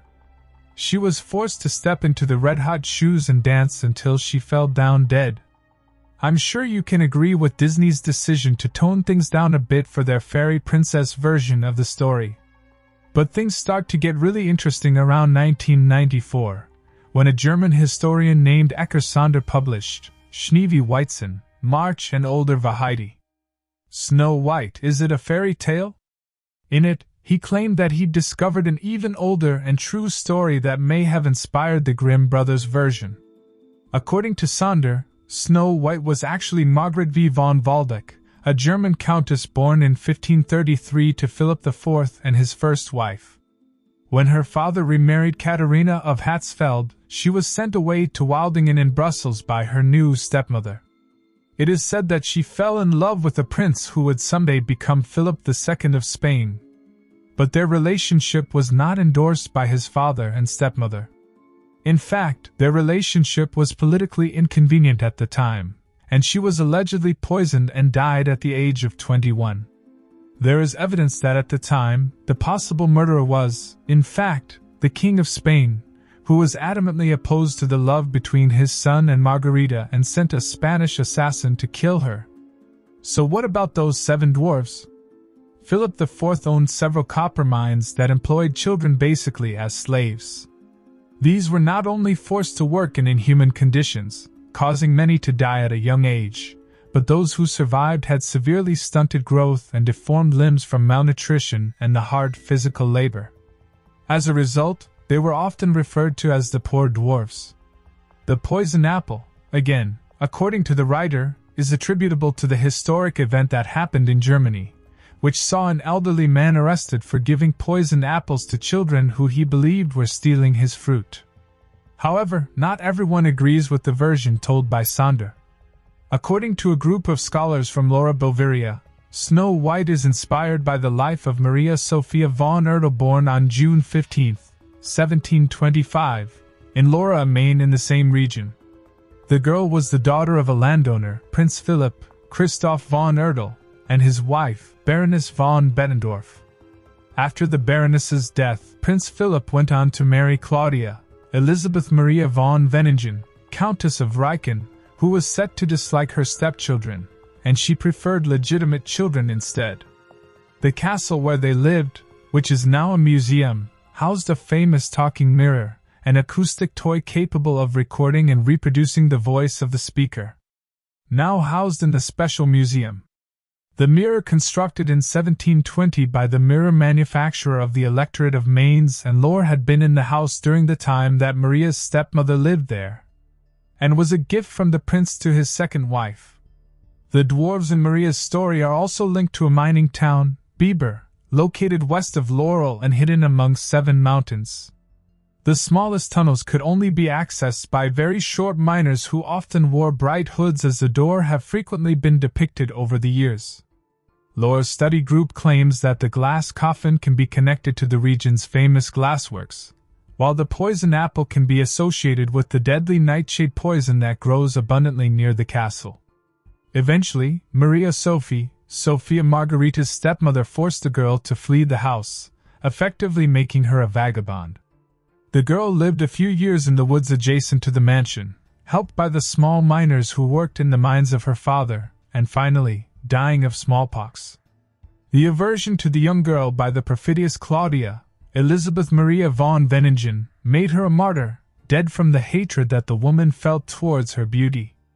It may never be known where the story of Snow White and the Seven Dwarfs truly originated, but the fairy tale is certainly inspired by some real events that occurred in Germany in the centuries preceding its drafting. In any case, the seven dwarves are identified almost with certainty as the small workers of the German mines of the 17th and 18th centuries. And the story could be the result of a mixture of elements, legends, and events that really occurred mixed in with fantasy and imagination. It was a year into the American Civil War in the spring of 1862 when Major General Ulysses S. Grant camped at Pittsburg Landing near Shiloh, Tennessee. He had pushed his troops into Confederate territory and was anxiously awaiting Major General Don Carlos Buell's troops who were due to meet up with his. However, before the two armies could unite, a band of Confederate troops from nearby Corinth, Mississippi attacked the Union Army early in the morning on April 6 in the hopes of defeating the general's troops before they grew in size. Grant's army, including some who had recently arrived from Ohio, held off the advancing Confederate and established an artillery line. The fighting went well into the night, and by sunrise the next day, the rest of the expected soldiers had arrived. The Confederates were now outnumbered by nearly 10,000 men, and they were forced back. Even after mounting a counterattack, the Union Army was able to push the Confederates back more easily. The Battle of Shiloh saw more than 3,000 dead and over 16,000 wounded. Neither side was prepared for so much damage, and the fighting set each back considerably. Common in this era were wounds from bullets and bayonets, which often led to infections. Even in cooler months, these wounds were easily contaminated by dirt or shrapnel, creating welcome environments for bacteria, which would set in and begin to feed on the soldiers' injuries. Due to the hard conditions of constant marching and limited food rations on the battlefront, many of the soldiers were already experiencing suppressed immune systems, which left them vulnerable to infection at higher rates than normal. Despite their best efforts, Army doctors were unable to prevent such infections. At this point in medical history, we still didn't understand the concept of microorganisms well, and germ theory was still yet to be discovered. As a result, countless soldiers died from infections that today would be very easy to prevent or treat quickly. In Shiloh, some soldiers had to wait in the mud for two days and nights of rain for the medics to have time to see them. Around dusk on the first night, some of the wounded men noticed an eerie sight. Their wounds appeared to glow in the dark, throwing strange light onto the battlefield around them. Something even more disturbing. After soldiers had been removed from the battlefield to be treated, those with wounds that had glowed turned out to survive at higher rates and experienced faster healing than those whose wounds hadn't. This mysterious light that appeared to bestow healing energies came to be called Angel's Glow. In 2001, almost 140 years after the battle, 17 year old Bill Martin was visiting the Shiloh battlefield with his family when he heard about the glowing wounds. He asked his mom, a microbiologist at the USDA Agricultural Research Service who had studied luminescent bacteria that lived in soil, about it. So, you know, he comes home and, Mom, you're working with glowing bacteria. Could that have caused the glowing wounds? Martin told Science NetLinks. And so, being a scientist, of course, I said, well, you can do an experiment to find out. And that's just what Bill did. He and his 18 year old friend, John Curtis, did the research for their science project and proposed that a bacteria called Photorhabdus luminescens could be responsible for the angel's glow phenomenon. These bacteria are luminescent and could only live in cold and humid environments. The battle was fought in early April when temperatures were low, and the grounds were wet with rain. The injured soldiers were left to the elements of nature and suffered from hypothermia. This would provide a perfect environment for P. luminescens to overtake and kill off harmful bacteria, avoiding possible infections. Later in the hospital, under warmer conditions, these bacteria died, leaving the wound totally clean. Often, A bacterial infection in an open wound would herald a fatal outcome. But this was an instance where the right bacterium at the right time was actually instrumental in saving lives. So the soldiers at Shiloh should have been thanking their microbial buddies. But who knew back then that angels came in microscopic sizes? As for Martin and Curtis, they went on to win first place in the team competition at the 2001 Intel International Science and Engineering Fair. On a shelf in the foyer of the Clarendon Laboratory of Oxford University stands a bell that has been ringing for nearly 179 years and has rung more than 10 million times. Its story began in the 1780s when Italian physicist Luigi Galvani discovered bioelectricity by accident. Galvani was in the process of dissecting a frog when he noticed something strange. Any time he touched the frog's nerves with one of the metal tools he was using in the dissection, the frog's legs flexed, as though it was still alive. His first hypothesis was that the movement was caused by some vital fluid, which was based on a biological assumption that's no longer accepted in the field. Later, he revised his theory about the phenomenon, stating that he must have been witnessing some kind of animal electricity. Another physicist, Alessandro Volta, suggested that both of these theories were wrong and put forward one of his own. He supposed that the dead animal's nerve acted as an electrolyte, and the electricity was generated due to the different types of materials that were being used. Volta later proved this theory when he created the world's first battery in 1800. The voltaic pile or dry pile was created when several discs of copper or silver and zinc were sandwiched together, soaked in brine, and stacked with cardboard discs. This invention disproved a theory that electricity could only be generated by a living being. Unfortunately, the original voltaic battery was dangerous to handle because sulfuric acid was used in the brine, and the power only lasted an hour or two. Then along came Giuseppe Zamboni, another Italian physicist, who perfected the idea using the voltaic pile. His two sided Zamboni pile used paper discs coated with zinc foil on one side and manganese dioxide on the other, allowing the moisture from the discs to behave as the electrolyte. The Zamboni pile was capable of creating something called an electrostatic clock by connecting the two ends of the pile close together while keeping a metal ball suspended between the two terminal ends. The Oxford bell is set up just this way. In 1825, Watkins and Hill, a London based instrument maker, created a battery to power the electric bell. Even though it was created a mere 25 years after Volta's invention, for some reason, this battery has outlived every battery made since then. It currently holds the Guinness World Record for the most durable battery. The bell was brought to Oxford University in 1840 by Reverend Robert Walker. The bell setup consists of a spherical metal clapper that oscillates between two small bells. The metal clapper is approximately 4 mm in diameter, powered by the battery placed above the bells. The battery is believed to be a dry pile battery with a paste inside it. This paste contains the minimum amount of water required for the electrolyte to work. A coating of solid sulfur keeps the water inside and helps avoid any leakages. Beyond this, we don't really know what materials or components are inside the body of the battery.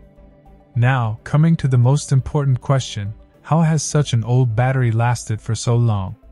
Since we don't know about the exact interior of the Oxford Electric Bell, there's only one way for us to answer this question. We must do what scientists always seem to be doing, assuming. By looking at battery diagrams from around the same time that this one was constructed back in the 1820s, the battery can be assumed to be a Zamboni pile with around 2,000 or more discs composed of zinc and magnesium dioxide. All 2,000 discs would be stacked one on top of the other, creating a massive voltage of approximately 2 kilovolts between the two bells. Mind you, that's 16 times greater than America's main supply voltage. But the metal clapper takes only 1 nanoamp of current each time it rings. This tiny current requirement of the clapper and the massive amount of available voltage is probably why the Oxford electric bell is still ringing. In the 179 years since its inception, the bell has rung more than 10 billion times. To know exactly what the battery is made of, we would have to cut it open and end the bell's 179 year long run. But opening the apparatus would also ruin the experiment and prevent us from seeing how much longer it would last. The bell has now been placed between two panes of glass to dampen its continuous ringing. How long will the Oxford electric bell continue ringing, and what is the battery inside made of? These are two of the most burning questions in the scientific community. People believe that the bell will eventually stop when the clapper breaks because of wear and tear throughout its prolonged lifetime. In 1841, just a year after being set up, Watkins and Hill wrote in a letter The residual electric power sufficient to keep up the ringing of the bell seldom lasts for longer than three or four years. It's a pretty apparatus, but also transient in its working process. They would have been proud to learn just how wrong they were and I'm sure they're smiling down from the stars with pride to hear their bells still ringing in all its glory. Deep in the jungles of South America, mysterious beings lurk, and humans have been telling stories about them for generations. Varying in size from quite small to larger than a man, tales of these creatures typically include some common factors. First, the beings are hairy. Next, they seem to have their own culture and society, living in villages together. And finally, they appear to have their own language of whistles that they use to communicate. Depending on where the stories originate, the names for these creatures vary, but the most common name is Maricoxi. We can understand the Maricoxi to be what we call Bigfoot. One of the most famous encounters between a human and a Maricoxi was British Colonel Percival H. Fawcett, who disappeared suddenly deep in the jungle while on an expedition to search for the lost city of Z.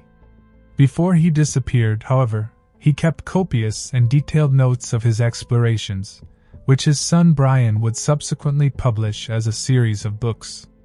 A compelling story from one of those books called Lost Trails, Lost Cities is about Fawcett's brush with the Maricoxi. The year was 1914, and Fawcett was exploring an area called Mato Grosso, an uncharted region in the southwest. Beginning in Bolivia, the expedition traveled up the Guapore River towards the dark jungle interior. By this time, they'd already been well acquainted with stories told by locals of hairy, man like beasts who lurked in the jungle.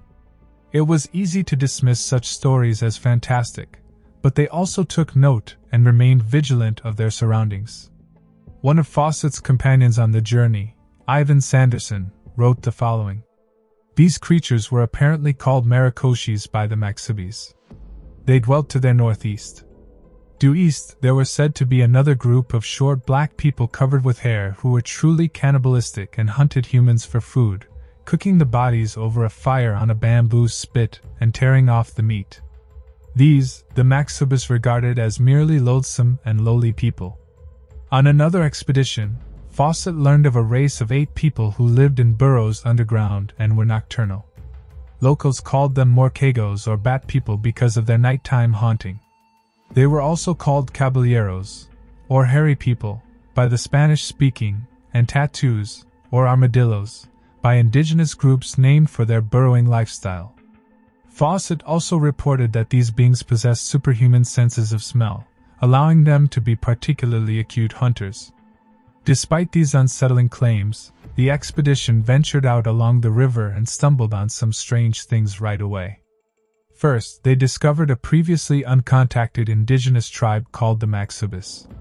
Their behavior was immediately very strange to the travelers as they worshipped the sun and demonstrated sophisticated knowledge of the solar system, which they were able to reproduce in impressive detail. The tribe merited future study, but the expedition needed to move on.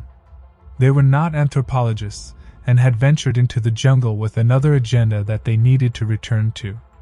After staying with the Maxubis tribe for a few days, they pushed on, deeper into uncharted territory where outsiders had never been.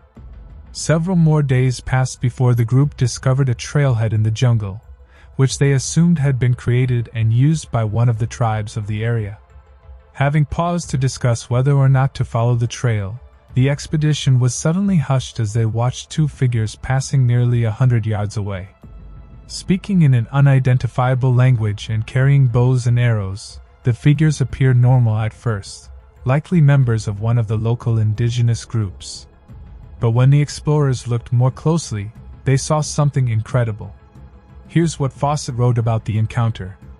We could not see them clearly for the shadows dappling their bodies, but it seemed to me they were large hairy men, with exceptionally long arms, and with foreheads sloping back from pronounced irises, men of a very primitive kind. In fact, stark naked. Suddenly, they turned and made off into the undergrowth, and we, knowing it was useless to follow, started up the north leg of the trail.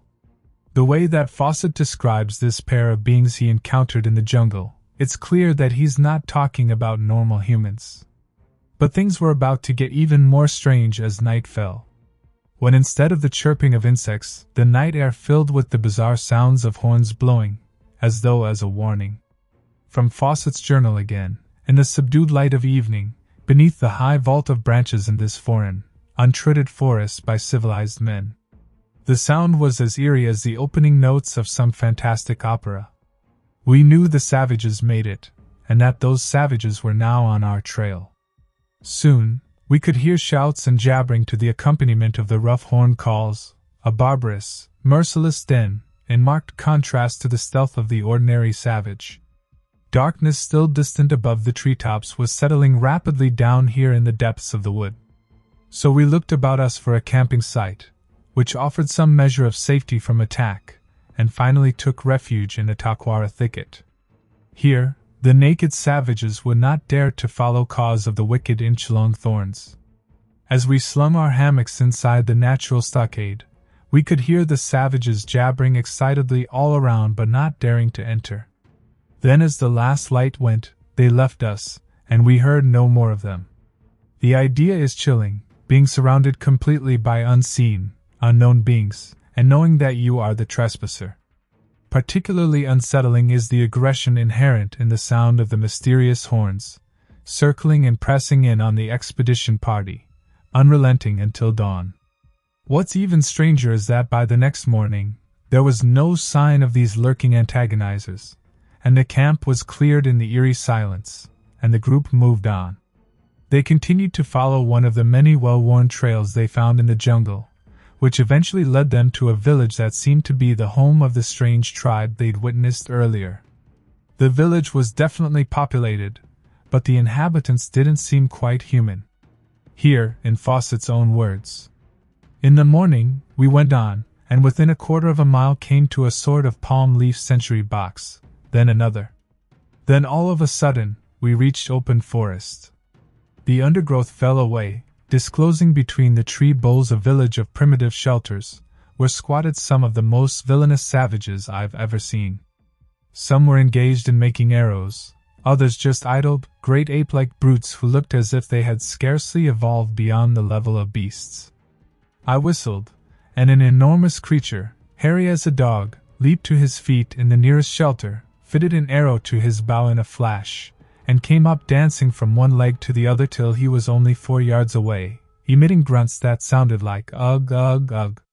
He remained there dancing, and suddenly, the whole forest around us was alive with these hideous eight men, all grunting ugh, ugh ugh, and dancing from leg to leg in the same way as the strong arrows to their bows.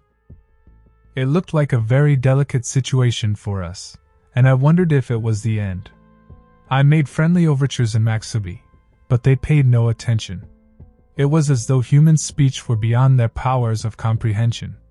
The creature in front of me ceased his dance, stood for a moment perfectly still, and then drew his bowstring back till it was level with his ear, at the same time raising the barbed point of the six foot arrow to the height of my chest. I looked straight into the pig like eyes half hidden under the overhanging brows and knew that he was not going to lose that arrow yet.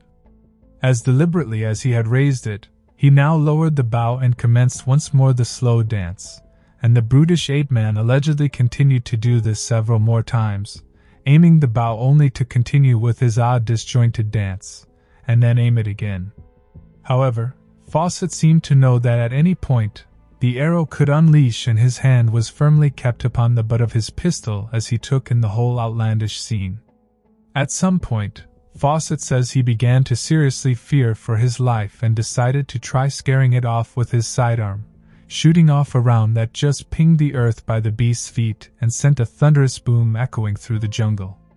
He says this of the sequence of events. I drew out a Mauser pistol I had on my hip. It was a big clumsy thing of a caliber unsuitable for forest use, but I had brought it because by clipping the wooden holster to the pistol but it became a carbine and was lighter to carry than a true rifle.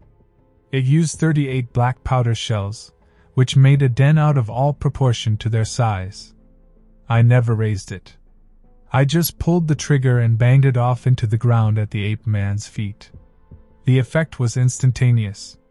A look of complete amazement came onto his hideous face, and the little eyes opened wide. He dropped his bow and arrow and sprang away as quickly as a cat to vanish behind a tree. Then the arrows began to fly. We shot off a few rounds into the branches, hoping the noise would scare the savages into a more receptive frame of mind, but they seemed in no way disposed to accept us. And before anyone was hurt, we gave it up as hopeless and retreated down the trail till the camp was out of sight. We were not followed, but the clamor in the village continued for a long time as we struck off northwards. And we fancied we still heard the ugh, ugh of the enraged braves. This account may seem to be completely sensational to the point that it might be easy for the more skeptical minded to dismiss it out of hand. But there are a few reasons why it has warrant and deserves consideration. The first being that this was likely not some fictional story Fawcett was telling. It was part of his very serious and typically meticulous notes on his expedition, and sitting right there amongst more mundane observations of the wildlife and region's peoples. He was a consummate professional and a member of the Royal Geographic Society. As well as a very respected, experienced explorer and surveyor. And there is no rational reason at all for why he should want to concoct such a story to drop in the middle of his otherwise meticulous journal. Why would he do that and risk his reputation? To what ends? Also, this means he would not likely have made misidentifications of local tribes or wildlife, as he was familiar with these jungles as one could possibly be in that era. Fawcett has also been accused of perhaps exaggerating his dealings with the natives and, in this case, portraying them as Harry Bruce for some racist agenda. But if that were the case, then why are there other records of his dealings with locals that are completely accurate in their depiction of their appearances and behavior? It is somewhat true that Fawcett was known to have strong opinions on the more primitive tribes, but he seems to have never let it compromise the matter of fact way in which he recorded the people themselves. Sanders has much to say about this aspect of the journal entries, writing Fawcett was not an ethnologist, anthropologist, or archaeologist, but it was with these disciplines that he clashed, and it was towards the protagonists of the first that he most often expressed himself as feeling most bitter. In his extensive travels through hitherto unexplored territories, he discovered many groups of people for the first time, lived with them, often acquired not a little of their language, recorded what of their customs he could, and attempted some classification of their origins. Much of all of this conflicted with established beliefs among ethnologists, and Fawcett's historical theories were at complete variance with what was then and still is accepted. Yet, while those theories were strongly criticized, the veracity of the facts he collected were never questioned. It was his assessment of them that was considered invalid. That puts his account of the Maricoxis in an entirely different light, quite apart from the fact that his word was never doubted that he had two reliable witnesses and that what he saw was both before and afterward confirmed by others.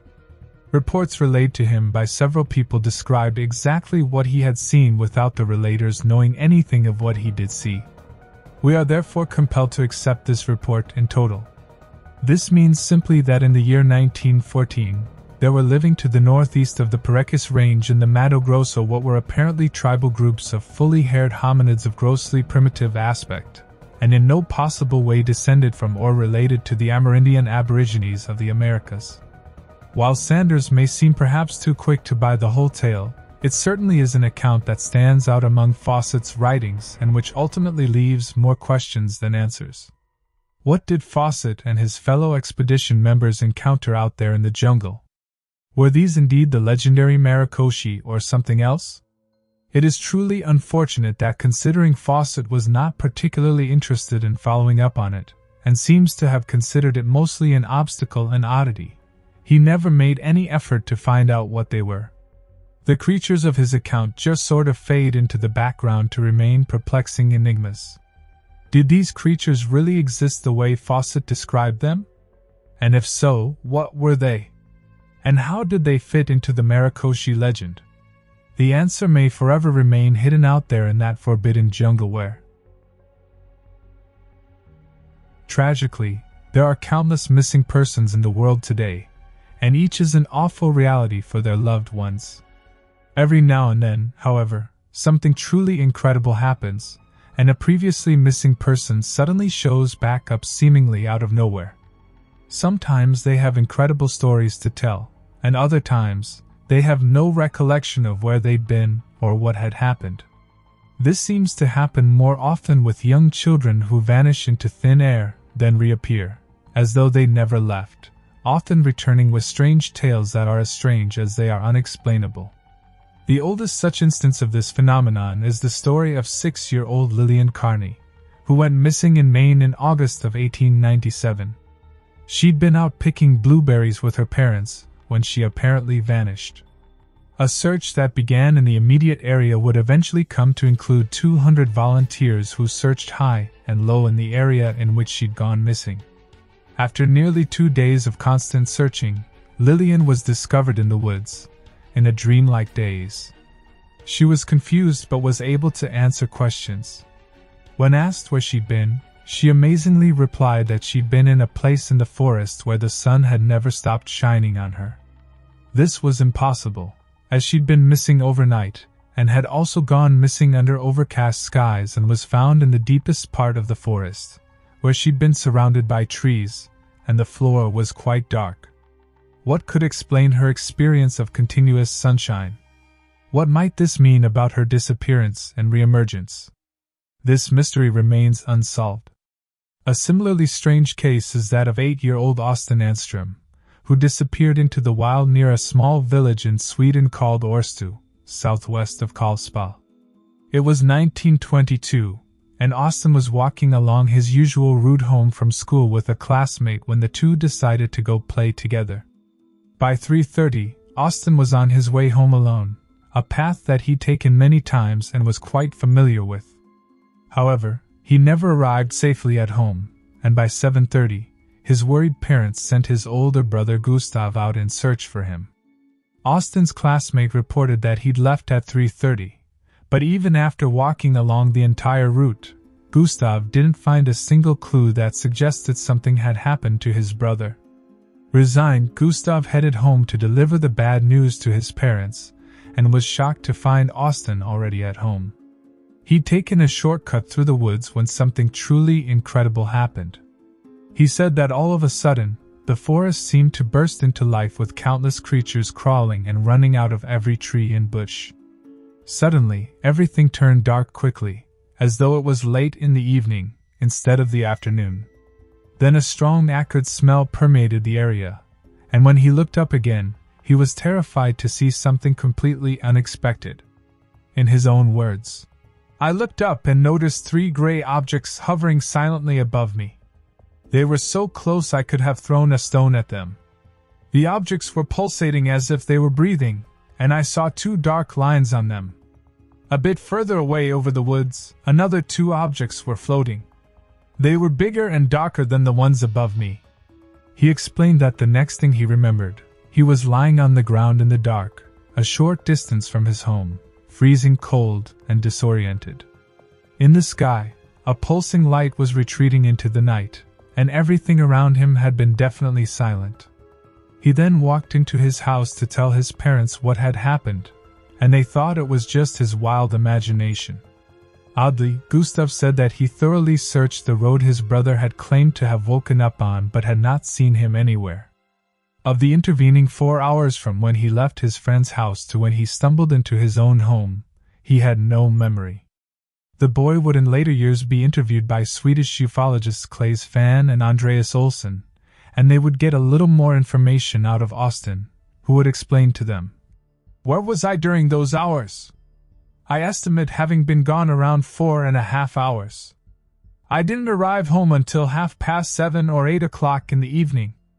I almost got beaten because they believed I was lying. They sent me to bed, and I was bedridden four days in a fever. Probably I caught a cold lying on the road. It looked as if the objects were pulsating simultaneously, all three of them, just like octopus functioning. They take in water and move by blowing it out. It looked like the objects used the same technique. They moved in a very elegant way, changed direction, and appeared to steer with this pulsating. Where was I? Gustav cycled this way while I was lying there without seeing me. I have pondered on this so many times. What happened to this boy? Who knows? Moving on to later years. In the summer of 2013, two year old Amber Rose Smith vanished from right in front of her home in Newaygo County, Michigan.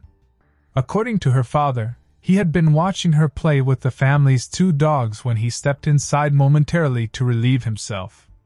When he had gone back outside, she was nowhere to be seen and would not respond to her name being called. The dogs appeared not long after without Ember. An intensive search involving hundreds of volunteers and emergency workers was launched to no avail. And the next day, she was found around two miles from her home, standing in the middle of the road that had already been searched and staring into space. She was unable to express what had happened to her but seemed to definitely be in a state of shock and disorientation.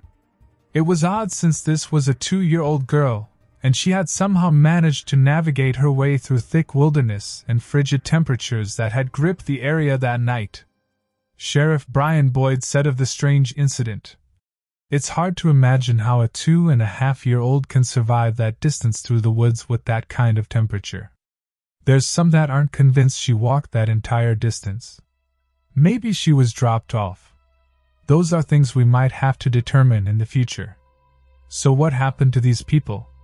Is there some force out there lurking in the wilderness that draws people in? How can we come to any answers when the details seem so murky? There are plenty of strange vanishings out there, and they always skirt the periphery of the odd, evading any real answers. It all remains a rather weird corner of the world of the weird, and it looks likely that we will be forced to merely speculate on it for the time being.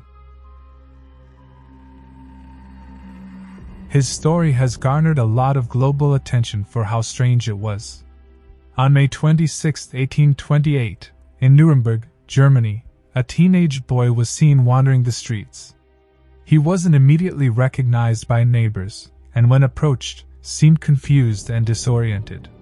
He was carrying with him a letter addressed to someone named Captain von Wessenig, 4th Squadron 6th Cavalry Regiment. The strange letter's claim was almost unbelievable. The boy bearing the letter, it said, had been taken in as an infant and educated at home. He had never once left that house. The boy desired to be a cavalryman as his father had been, and then the letter presented an ultimatum to von Wessenig take him in or hang him. There was another letter too, apparently from the boy's mother, who identified him as Casper and reiterated that the boy's father had been a cavalryman but had passed away. What was strange was that both letters appeared to be written by the same person. When the boy himself was questioned, it was clear that communication with him would be very difficult. He was able to speak but would only repeat the phrase, I want to be a cavalryman as my father was, or the word, horse. When further questions were put to him, he would simply answer, Don't know.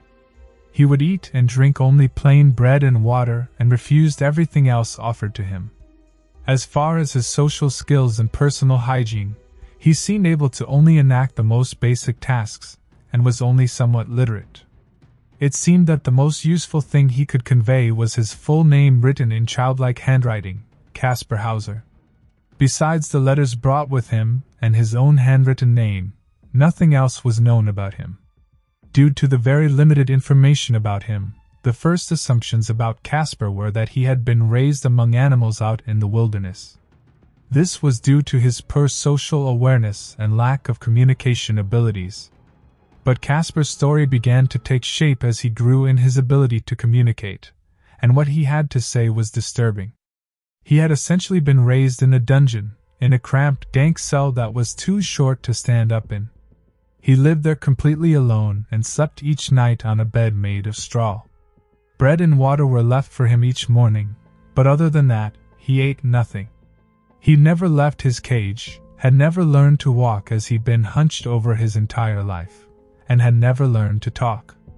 Bizarrely, he claimed that he had never actually met his caregiver in all the years that he'd been raised in the environment. In fact, he'd never met another human being. According to Casper, it was only quite recently that he'd been in contact with another human. He said that a man whose face was always obscured had taught him to write his name as well as how to walk. This person helped Casper to memorize the one sentence that he knew I want to be a cavalryman. As my father was, which at the time meant nothing to Caspar. He learned it by rote, memorizing the phonetic sounds and practicing them over and over. The fantastic story was soon in the media, and it didn't take long for Caspar Hauser to become world famous for his odd background. Theories began to emerge about him, with some suggesting he was royalty, and others claiming he was a liar. Caspar was kindly taken in by Friedrich Daumer, a schoolmaster and philosopher who took him on as a student.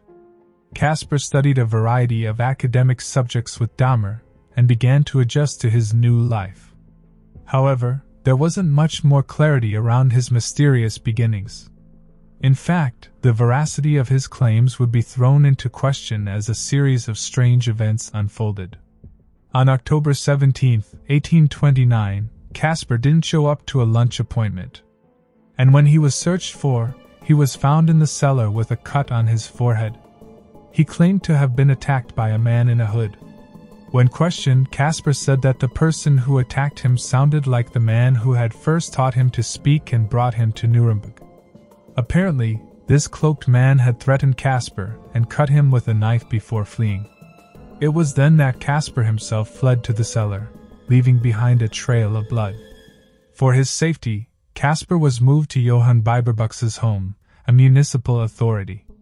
The mysterious attacker was never apprehended, but people began to wonder if the wound on his forehead had been self inflicted.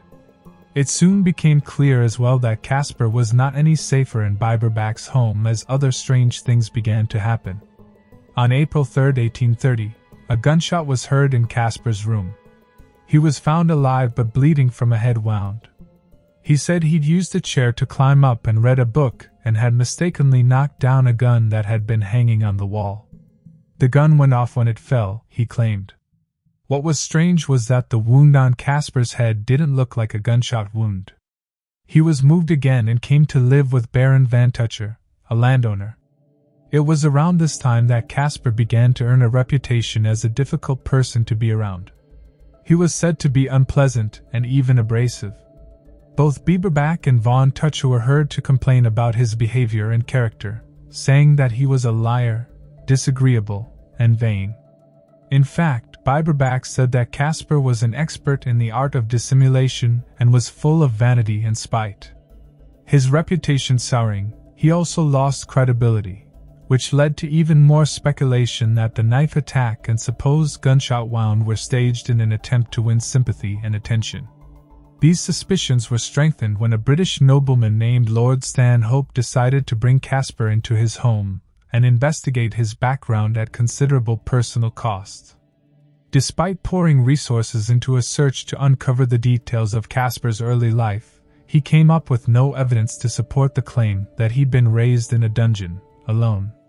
After another caretaker named George Meyer cut ties with Caspar after just a short time in his company, he proclaimed, I have been deceived. And a further caretaker named Anselm von Feuerbach said, Caspar Hauser is a smart scheming codger, a rogue, a good for nothing that ought to be killed. The truth about Caspar's origins will never be known because he died before anyone could unearth what truly happened. On December 14, 1833, he returned home with a bad chest wound, which he said was from a knife attack in Ansbach court garden. When authorities went to the place where he said he'd been stabbed, they found a purse, and inside it, a strange cryptic note. It was written in a mirror code in German, but with grammatical and spelling errors. It read, Hauser will be able to tell you quite precisely how I look and from where I am. To save Hauser the effort, I want to tell you myself where I come from. I come from the Bavarian border on the river. I will even tell you the name MLO. To this day, the note has never been conclusively interpreted, and the person who wrote it has never been identified. It's not even clear if the person who wrote the note had a role to play in Caspar's demise. He succumbed to the knife wound on December 17, 1833, dying a death as strange as his entire life had been. His gravestone in the city's cemetery of Ansbach reads Here lies Caspar Hauser, riddle of his time. His birth was unknown. His death mysterious 1833.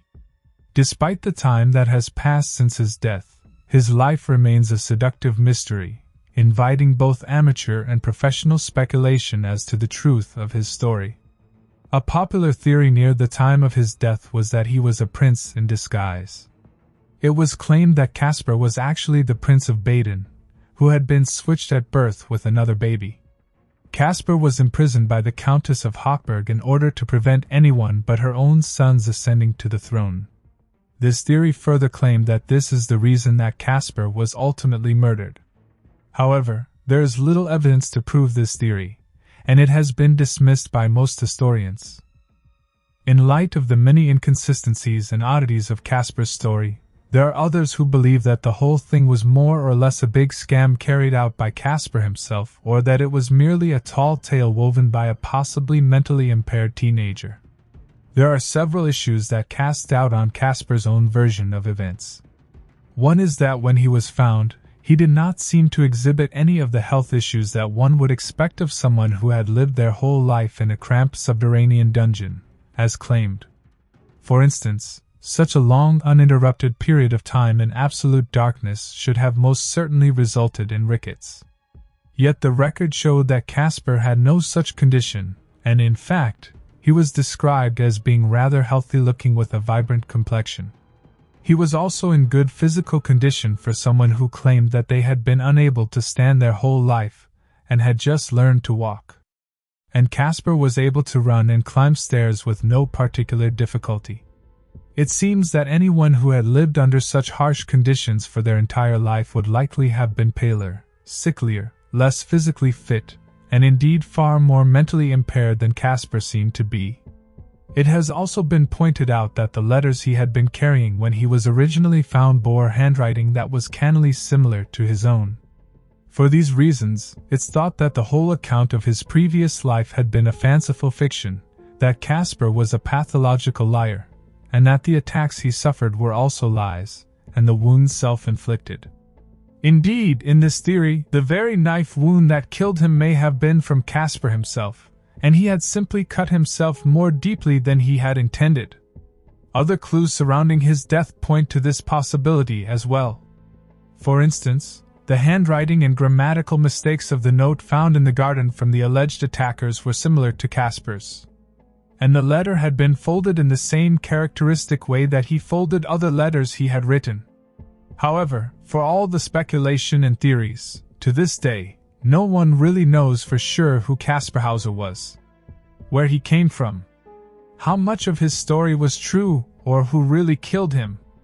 And the case continues to be a baffling enigma that puzzles to this day.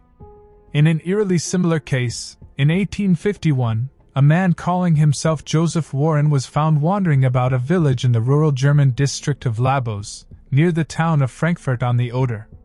Thinking he was a vagrant drifter, authorities approached the stranger and asked him where he had come from. The stranger, who appeared to be Caucasian, answered in broken German that he was from a faraway country called Laxaria, which he claims could be found out over the seas in a region he identified as Sakria, either of which were real places that anyone had ever heard of. When he was detained and brought to Frankfurt for further questioning, things got more bizarre still. Vorin was found to be unfamiliar with any other European language, except German, of which he had only a rudimentary grasp. But he claimed to be a native speaker to unintelligible languages, which he said were called Laxarian and Abramian, with one being the written language of the clerical order of Laxaria, and the other the common language of his people. The stranger was apparently very persuasive, explaining the geography of his country and even his religion, which he called Ispatian in great detail. Furthermore, he claimed that he had been searching for his missing brother but that he had become shipwrecked on his journey and had ended up in Germany. It seems that, in the end, the baffled authorities came to the conclusion that he was telling the truth and released him. In 1905 in Paris, France, another such stranger was apprehended when he tried unsuccessfully to pilfer a loaf of bread from a marketplace. When questioned by police, the man claimed in imperfect French that he was from a country called Lisbia. It was at first thought he was trying to say Lisbon, and a Portuguese translator was brought in to help police further question him in more detail. However, the stranger did not speak a word of Portuguese and indeed did not even seem to be able to locate the country on a map. The man humored authorities by speaking in what he claimed to be his native language. And although it seemed to follow basic rules of syntax and have its own vocabulary, no one had ever heard of it before, and indeed, no linguist was able to place it. Unfortunately, the authorities could not do much to keep him. And when he had been sternly warned about attempted theft, he was released. This is another case for which it's hard to ascertain the parts which could be true or fabricated, and which will probably always remain a curious puzzle. Another story, similarly rendered muddy and murky by the passage of time and retellings, is a strange appearance in Mexico City on October 26, 1593, of a Spanish soldier who seems to have appeared out of thin air after being teleported over vast distances. On the day in question, guards at Mexico City's Plaza Mayor noticed a dazed looking man walking about in a trance and wearing the uniform of a Philippine soldier. In addition to him being very far from the Philippines, no one figured out how the intruder could have possibly slipped past the high security of the premises. And the suspicious guards immediately detained him. When the stranger was questioned, he had quite a fantastic story to tell. He claimed that his name was Gil Perez, a soldier and guard at the Governor General in Manila, Philippines. And that on October 23, 1593, he had been at his post on high alert following the shocking assassination of Governor Dom Gomez Perez Perez Dasmariñas. Exhausted, Perez had allegedly leaned on a wall and closed his eyes for a moment. But when he opened them again, he was in an unfamiliar place surrounded by new sights and smells. Disoriented, Perez nevertheless had dutifully gone back to his guard detail. Until he realized that his uniform was not the same as the guards around him, which was around when he had been apprehended. Perhaps unsurprisingly, the skeptical Mexican guards did not believe a word of this spectacular tale. And Perez was simply thrown into prison and accused of being a servant of the devil. Perez languished in prison for months until a ship arrived from the Philippines along with news of the Manila governor's assassination, which had until that point been unknown in Mexico. Further corroborating Perez's story was the testimony of someone on the ship who claimed to know Perez and to have actually seen him on duty on October 23, although it was not known that he had gone to Mexico. Considering that he had been detained since the 26th of October, and that he could not possibly have known of the assassination, since the news had taken months to travel across the ocean by ship, as well as the claims by those on the ship who apparently knew him. The Mexican authorities had no choice but to grudgingly believe him. In light of this information, the Mexican authorities then reportedly released him and allowed him to go home. This time, the long way by ship. It's not known if Perez was really who he claimed to be, and indeed, it is uncertain just how much of this story is true, if any, or what parts may have been exaggerated or fabricated over retellings. But theories by those who put stock in it include the ideas that he was simply a lying impostor or a deserter. To spontaneous teleportation, interdimensional portals, or even alien abduction. So, what are we to make of all of this? In these disparate stories of mysterious strangers who have appeared from seemingly nowhere, do we have in some instances cases of such oddities as time travel, interdimensional portals, and spontaneous teleportation? Is there truly something at work here that goes beyond what we know of our universe? With these people somehow walking the line on the limits of reality, transcending the horizons of what we think we understand of time and space. In other cases, such as that of Caspar Hauser, do we have a true tale of intrigue? Or merely the ramblings of a swindling degenerate liar? Is any of this possibly real? Or is this all just urban legend, tall tales, and exaggeration over time? With some of these people having never really even existed at all. Who were these inscrutable strangers? Where did they come from? And what did they want?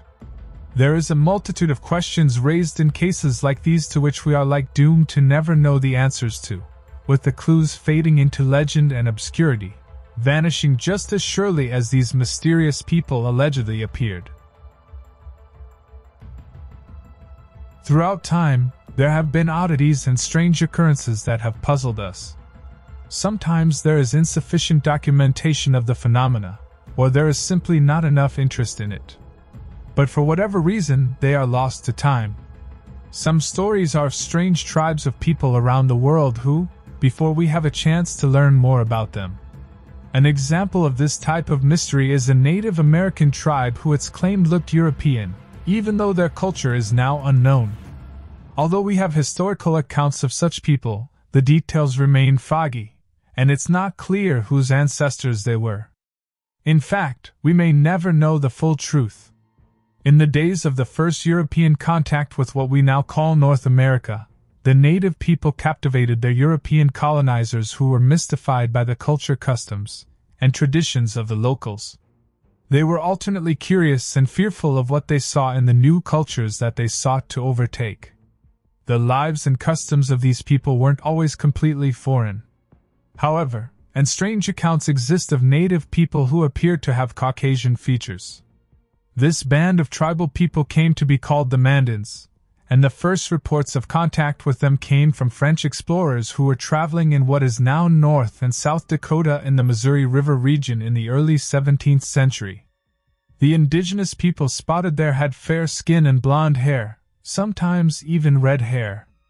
They were said to have gray and blue eyes, and the women were apparently so Nordic looking that it was only their clothing that distinguished them from Europeans. The French Canadian trader Sieur de La Vérendrye is said to have made the first official contact with the Mandan people in 1738.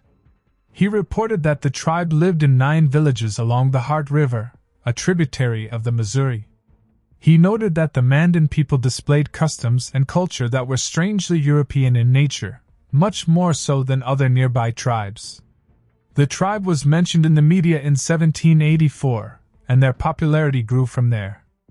The Pennsylvania Packet and Daily Advertiser ran a story about blue eyed Indians, as they called them, who it described were acquainted with the principles of the Christian religion and extremely courteous and civilized. Lewis and Clark themselves came across the tribe at one point in 1804 and claimed that they were half white, using terms like civilized and polite to describe them.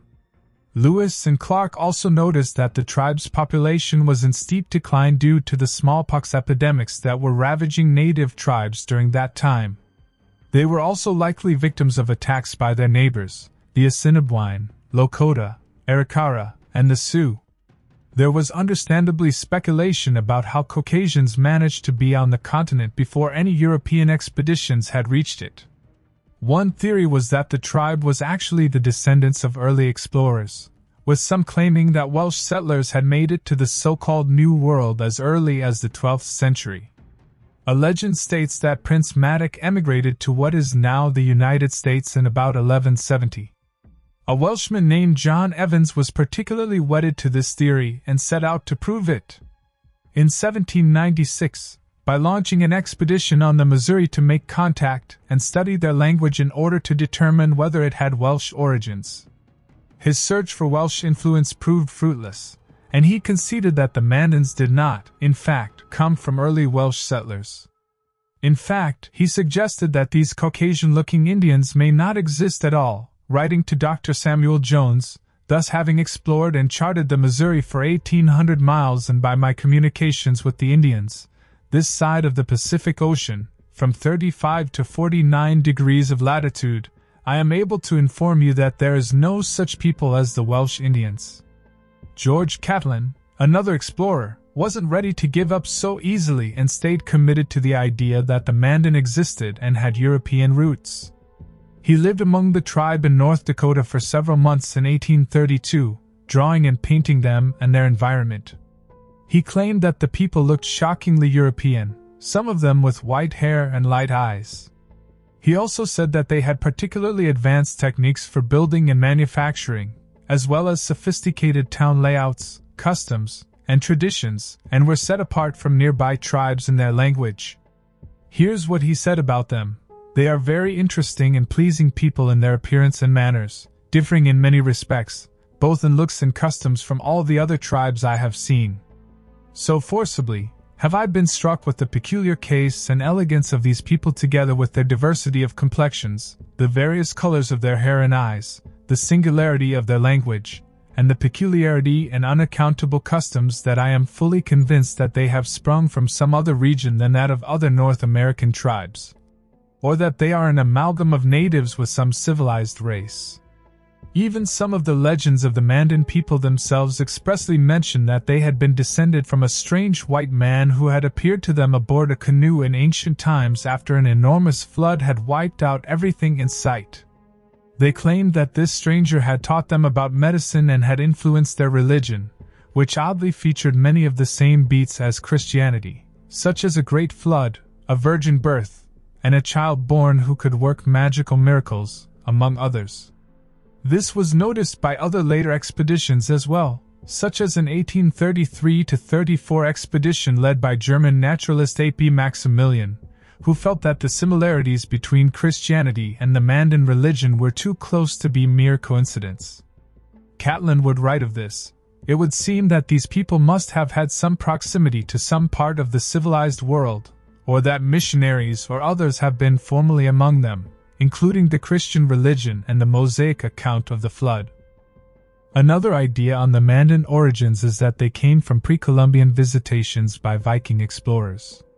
The first official European to ever make contact with the Mandan tribe, Sieur de la Vérendrye, claimed that at the time, he had found a strange runestone with Nordic inscriptions on a riverside near the village. The stone was allegedly sent to France to be studied, but it's unclear what happened to the runestone after that, and indeed, it's uncertain if it ever really existed at all. Unless the stone ever turns up again, it remains just as mysterious as the Mandan. The idea of Vikings in the New World before the days of Columbus has been talked about for some time, with one prevalent and somewhat controversial theory having to do with Erik Thorvaldsen, also more famously known as the Red, who established two colonies on the coast of Greenland in 968. The story goes that Eric the Red then abandoned these outposts when the wild, rugged land proved to be too cold and forbidding and made his way to North America along with the colonists. The theory then claims that the King of Norway is said to have sent an expedition to the New World to find out what happened to them, and that this expedition made their way up the rivers to end up in the Dakotas and other areas. After which they became stranded and then assimilated into the native tribes, giving them their Nordic genes. However, there is very little evidence to prove that Vikings ever actually reached North America the Dry runestone vanished without a trace.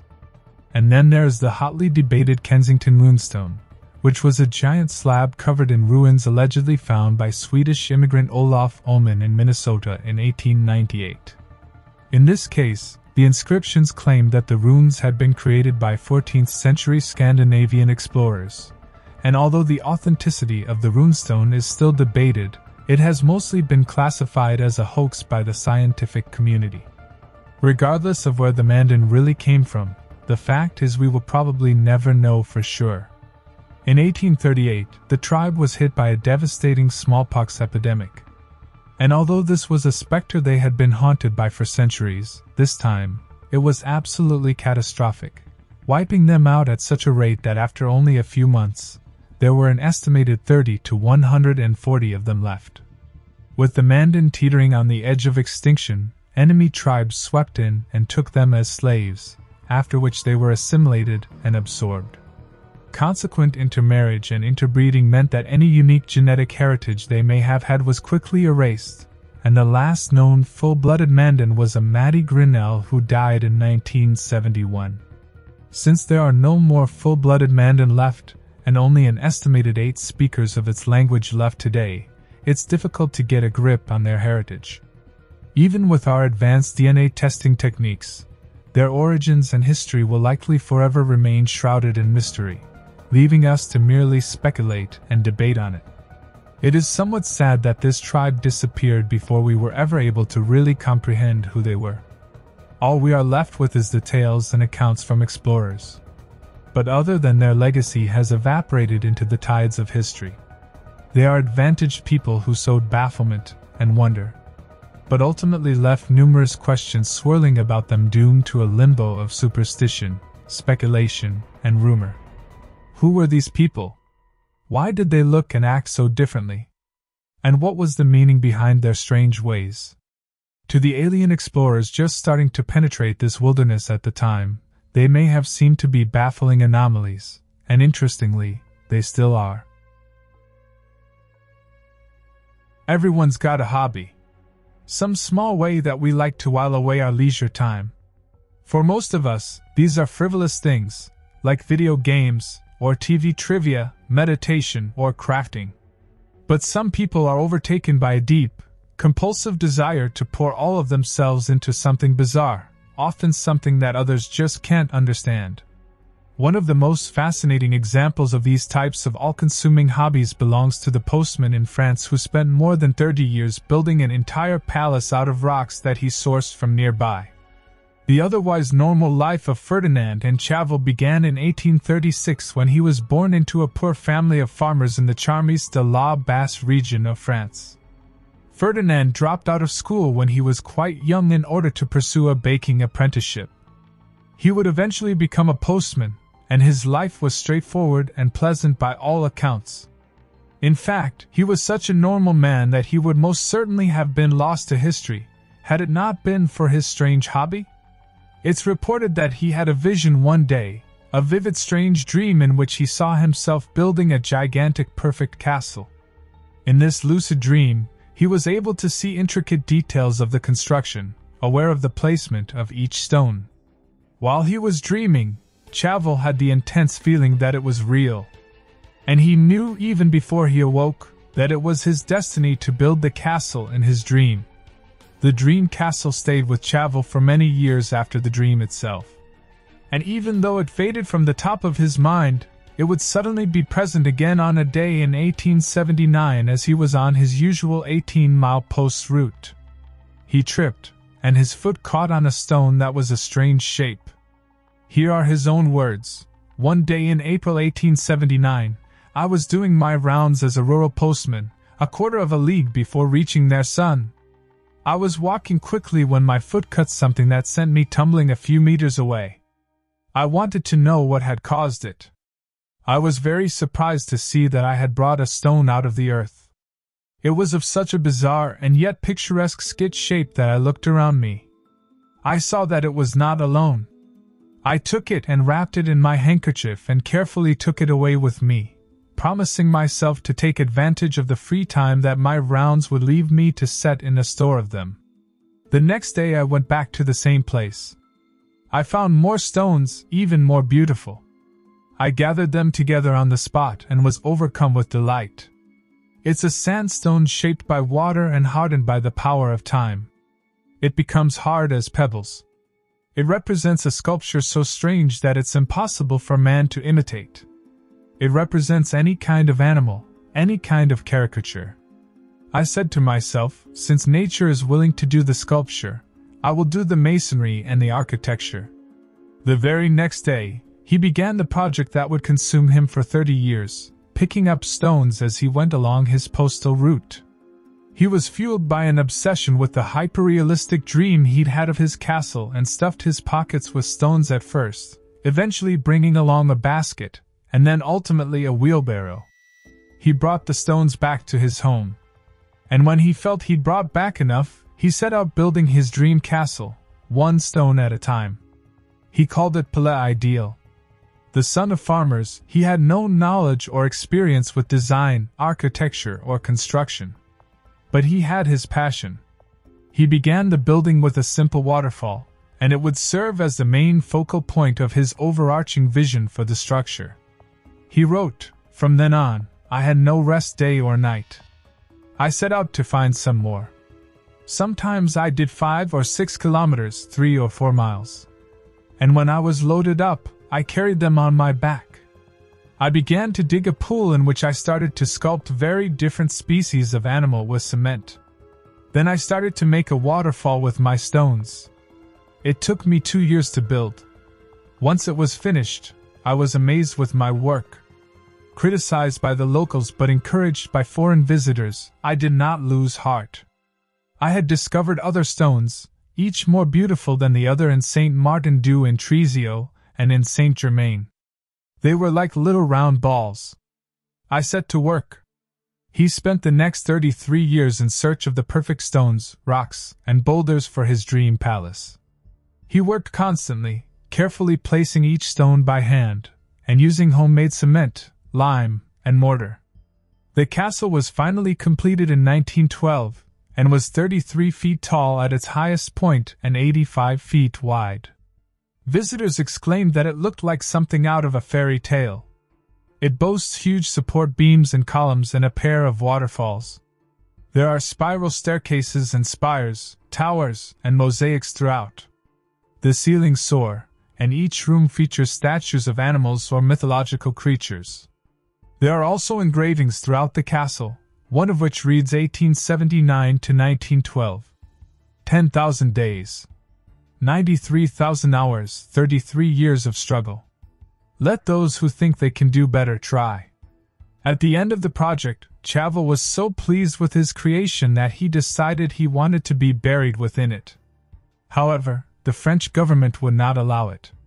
So he set about again collecting rocks to build a mausoleum, in addition to a full sized Hindu temple at the Hauterives Cemetery. Here's what he said about the finishing touches that he took to complete this project. Still more delighted with my work, the idea then came to me that with my little round balls that I had found in Saint Germain, Troget, and Saint Martin Duet, I could make myself an Egyptian tomb whose style would be unique in the world and be buried in the rock just like the pharaohs. I started digging into the earth, and I formed a kind of rock. And in this rock I dug coffins. These coffins are covered with tiles that you can remove at will. Them themselves closed off by a stone door, and an iron one.